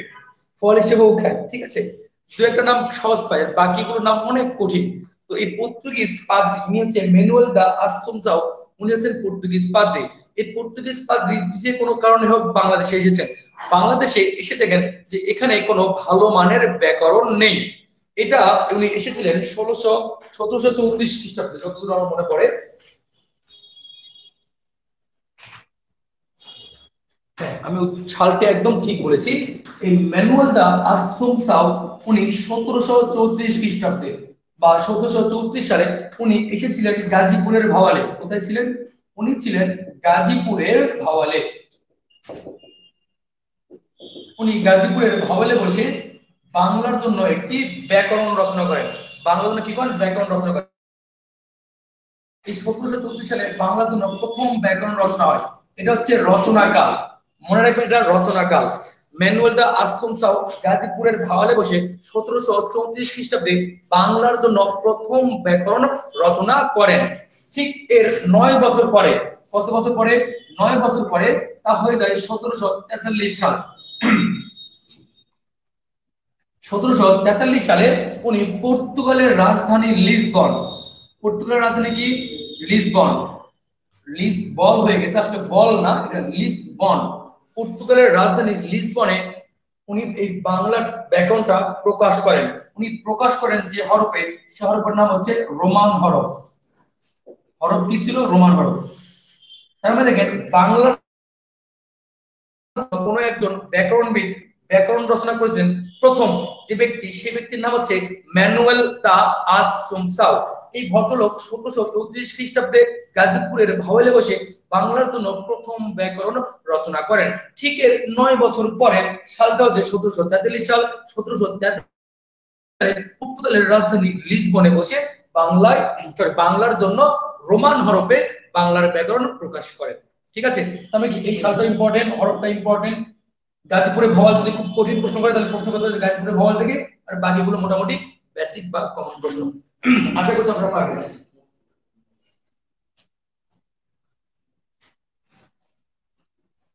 ভাই একদম প্রশ্ন করলে শুধু কি বাংলা ক্লাস নেবে?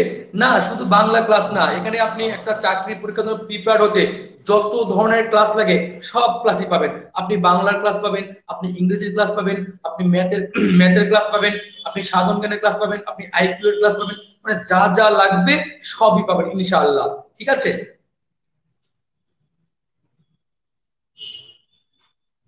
ওকে তার মানে এই বিষয়ে আমাদের জানা শেষ। এরপরে আমরা যা বিষয়ে জানব, তার নাম হচ্ছে Nathaniel Brassey Halhed Nathaniel Brassey Halhed সংক্ষেপে এই ভদ্রলোকের নাম বলি আমরা এনবি হেলহেড নাম কি?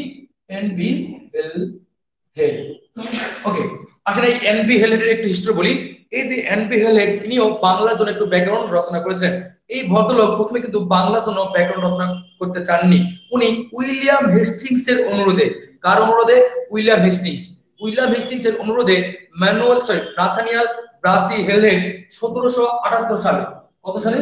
সতেরোশো আটাত্তর সালে বাংলার জন্য একটু ব্যাকরণ রাখেন সেই ব্যাকরণের নাম হচ্ছে a Bengali grammar in the English language sorry এই grammar of the Bengal language একটু রাধা রামমোহন রায়ের সাথে ভুলে ফেলেছি।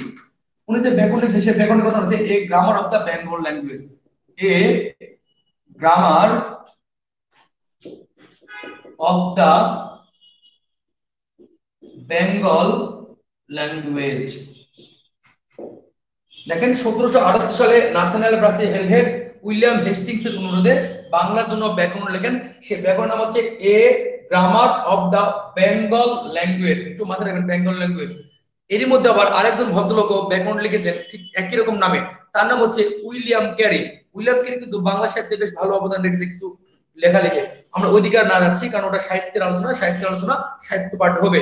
আর জাস্ট ব্যাকরণের জন্য বলছি যে উইলিয়াম ক্যারির যে ব্যাকরণ গ্রন্থ, সেখানে একই নামে আছে। এই গ্রামার অফ দা বেঙ্গল বেঙ্গলের জায়গাতে একটা ডাবল ই দেওয়া হয়। যদি বেঙ্গলি বলি, তাহলেই হয়ে যাবে কার নাম? এটা হচ্ছে উইলিয়াম ক্যারির গ্রন্থ। আর যদি দুইটা ই কেটে দেই বেঙ্গল বলি, তাহলে এটা হবে নাথানিয়াল ব্রাসি হেলহেডের গ্রন্থ। আশা করছি ব্যাপারটা বুঝতে পেরেছেন। ওকে এই ভদ্রলোক আবার এই যে, এই grammar of the Bengal language এটাও লিখেছিলেন ইংরেজি হরফে। কোন হরফে লিখেছিলেন? ইংরেজি হরফে। ওকে এরপর আসেন আমরা তৃতীয় ধাপে শিখব। এরপরে যে ব্যক্তির নাম সবচেয়ে বেশি ইম্পর্টেন্ট বা বাংলা ব্যাকরণের পথিকৃৎ যাকে বলা হয়, অথবা বাংলার ইতিহাসের প্রথম বাংলায় ব্যাকরণবিদ যার নাম, তিনি হচ্ছে আমাদের রাজা রামমোহন রায়। এই ব্যক্তির নাম হচ্ছে রাজা রামমোহন রায়। ঠিক আছে? দেখেন, রাজা রামমোহন রায়, উনিও বাংলা চর্চা করতে ভাবলেন যে বাংলার জন্য কোনো ব্যাকরণ বই নেই। তখন উনিও জন্য একটা ব্যাকরণ লেখার চিন্তা করেন উনি আঠারোশো ছাব্বিশ সালে Bengali grammar in the English language, যা আমি আগে বলেছিলাম সেটা আঠারোশো ছাব্বিশ সালে একটা ব্যাকরণ লেখেন Bengali grammar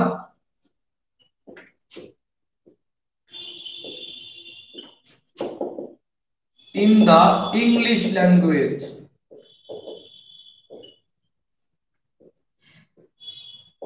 Bengali grammar in the English language এই নামে একটা বাংলার জন্য ব্যাকরণ গ্রন্থ রচনা করেন। তবে তারও পাঁচ, না, কয় বছর পরে? আঠারোশো ছাব্বিশ তেত্রিশ সালে, প্রায় সাত বছর পরে। আঠারোশো তেত্রিশ সালে মানে ঠিক সাত বছর পরে তার ভাবোদয় হচ্ছে যে এই যে আমি বাংলার জন্য বাঙালি হয়ে একটা ব্যাকরণ লিখেছি, তাও লিখেছি কোন হরফে? ইংরেজি হরফে। কিন্তু অথচ আমরা বাঙালি বাংলায় লিখিনি। এরপরে উনি এই গ্রামারটাকে উনি অনুবাদ করলেন বা অনুদিত করলেন। কি করলেন? অনুদিত সালে? আঠারোশো তেত্রিশ সালে। এই ব্যাকরণের তখন তিনি নাম দিলেন গৌরীয় ব্যাকরণ। কি ব্যাকরণ? গৌরীয় ব্যাকরণ। আর এই গৌরীয় ব্যাকরণই হচ্ছে বাংলা সাহিত্যে বা বাংলার ইতিহাসে প্রথম কোন ব্যাকরণ গ্রন্থ যা বাংলায় লেখা হয়েছে এবং লিখেছেন কোন বাঙালি। এই জন্য কিন্তু রাজা রামমোহন রায়ের এই যে নামটা বাংলার ব্যাকরণ জন্য একটা বিশাল বড় নাম বা বিজ্ঞান। এখান থেকে প্রশ্ন কিন্তু অনেক হয়, অনেক আসে। এরপর থেকে ধীরে ধীরে বাংলা ব্যাকরণের সাহিত্য নিয়ে বাংলা ব্যাকরণের নিয়ে চর্চা চলছে, এখন পর্যন্ত চলছে, তো এটা চলতেই থাকবে, ঠিক আছে? তো এই তো গেল নর্মাল ব্যাকরণ ইতিহাস, প্রশ্ন আসলে বেসিক্যালি এইগুলো থেকে ইতিহাস থেকে প্রশ্ন আসে, আর আধুনিক কালে অনেকগুলো ব্যাকরণবিদ আছে, তাদের বিষয়ে আপনারা অনেকে জানেন, তাদের বই আপনারা পড়েন, আশা করছি আপনারা আরও বেশি ব্যাকরণ চর্চা করবেন এবং চর্চার মধ্যে ব্যাকরণকে আরও বেশি সমৃদ্ধশালী বা সমৃদ্ধ করে ফেলবেন, ঠিক আছে? তো এই তো তাহলে হিস্টোরি ব্যাকরণ, ইতিহাস এখানে শেষ। আশা করছি আপনারা অনেকগুলো আজকে পড়া শিখেছেন, অনেকগুলো বিষয় নিয়ে আলোচনা করেছি এবং সবগুলি ভালো করে শিখেছেন, পড়েছেন। আর কোনো প্রবলেম ফেস করলে আমাদের সঙ্গে অবশ্যই জানাবেন কমেন্ট চেক করে ক্লাসটা ইতি এখানে টানবো। ওকে মারিয়া মঞ্জু বলছে যে, একদম ঠিক জাস্ট ওয়াও উনি কেন জাস্ট মার্চ ফরওয়ার্ডের সব পেজে জাস্ট অসন পড়ার, একবার ক্লাস করলে আর পড়তে হয় না। জি থ্যাংক ইউ আপু, আপনার এই সুন্দর কমেন্টের জন্য আপনাকে অনেকগুলো ধন্যবাদ।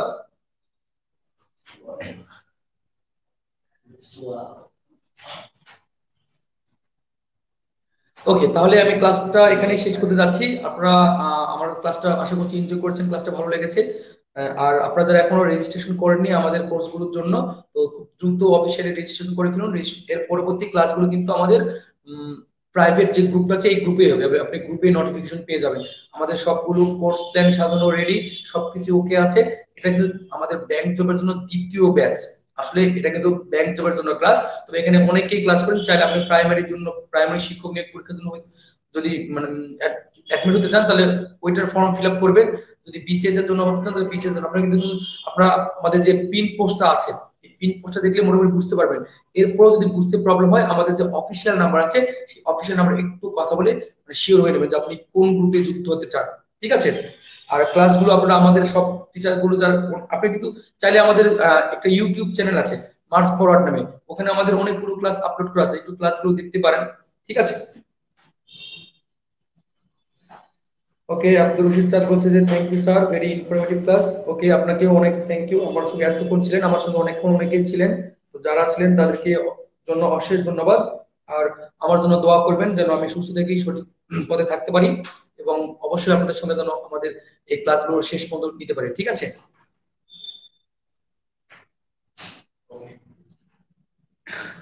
আসসালামু আলাইকুম, স্যার। অসংখ্য ধন্যবাদ। আপনার জন্য ব্যাংক জবে ক্লাস করলাম। ব্যাংক জবে ক্লাস ওকে ঠিক আছে। থ্যাংক ইউ আপু ডাক্তার ইফরাত জাহান। ওকে সীমান্ত সুনন্দা সুনন্দা আচ্ছা ঠিক আছে। অসাধারণ ক্লাস নিয়েছেন। হ্যাঁ আমাদের সব টিচারই অসাধারণ ক্লাস নেন। আপনি অসাধারণ ক্লাস সবগুলি পাবেন। তো এর পরবর্তী ক্লাসগুলো কিন্তু আমরা আর লাইভে নিচ্ছি না বা আমাকে হয়তো আর লাইভে ক্লাস পাবেন না। এর পরবর্তী ক্লাসগুলো আপনারা প্রাইভেট গ্রুপে পাবেন। আমি কিন্তু অলরেডি গ্রুপে ক্লাস নিচ্ছি। এর আগে প্রথম একদিন বিসিএস বিসিএস এর ক্লাস প্রিলির জন্য ক্লাস নিয়েছি অলরেডি দুটো তিনটা ক্লাস নেওয়া হয়ে গেছে। ব্যাংক জবের ক্লাস অনেকগুলো হয়ে গেছে। ঠিক আছে? ওকে ঠিক আছে। ক্লাসের ক্লাসটা এখানে সমাপ্ত করছি। সবাই সুস্থ থাকবেন, ভালো থাকবেন। আসসালামু আলাইকুম।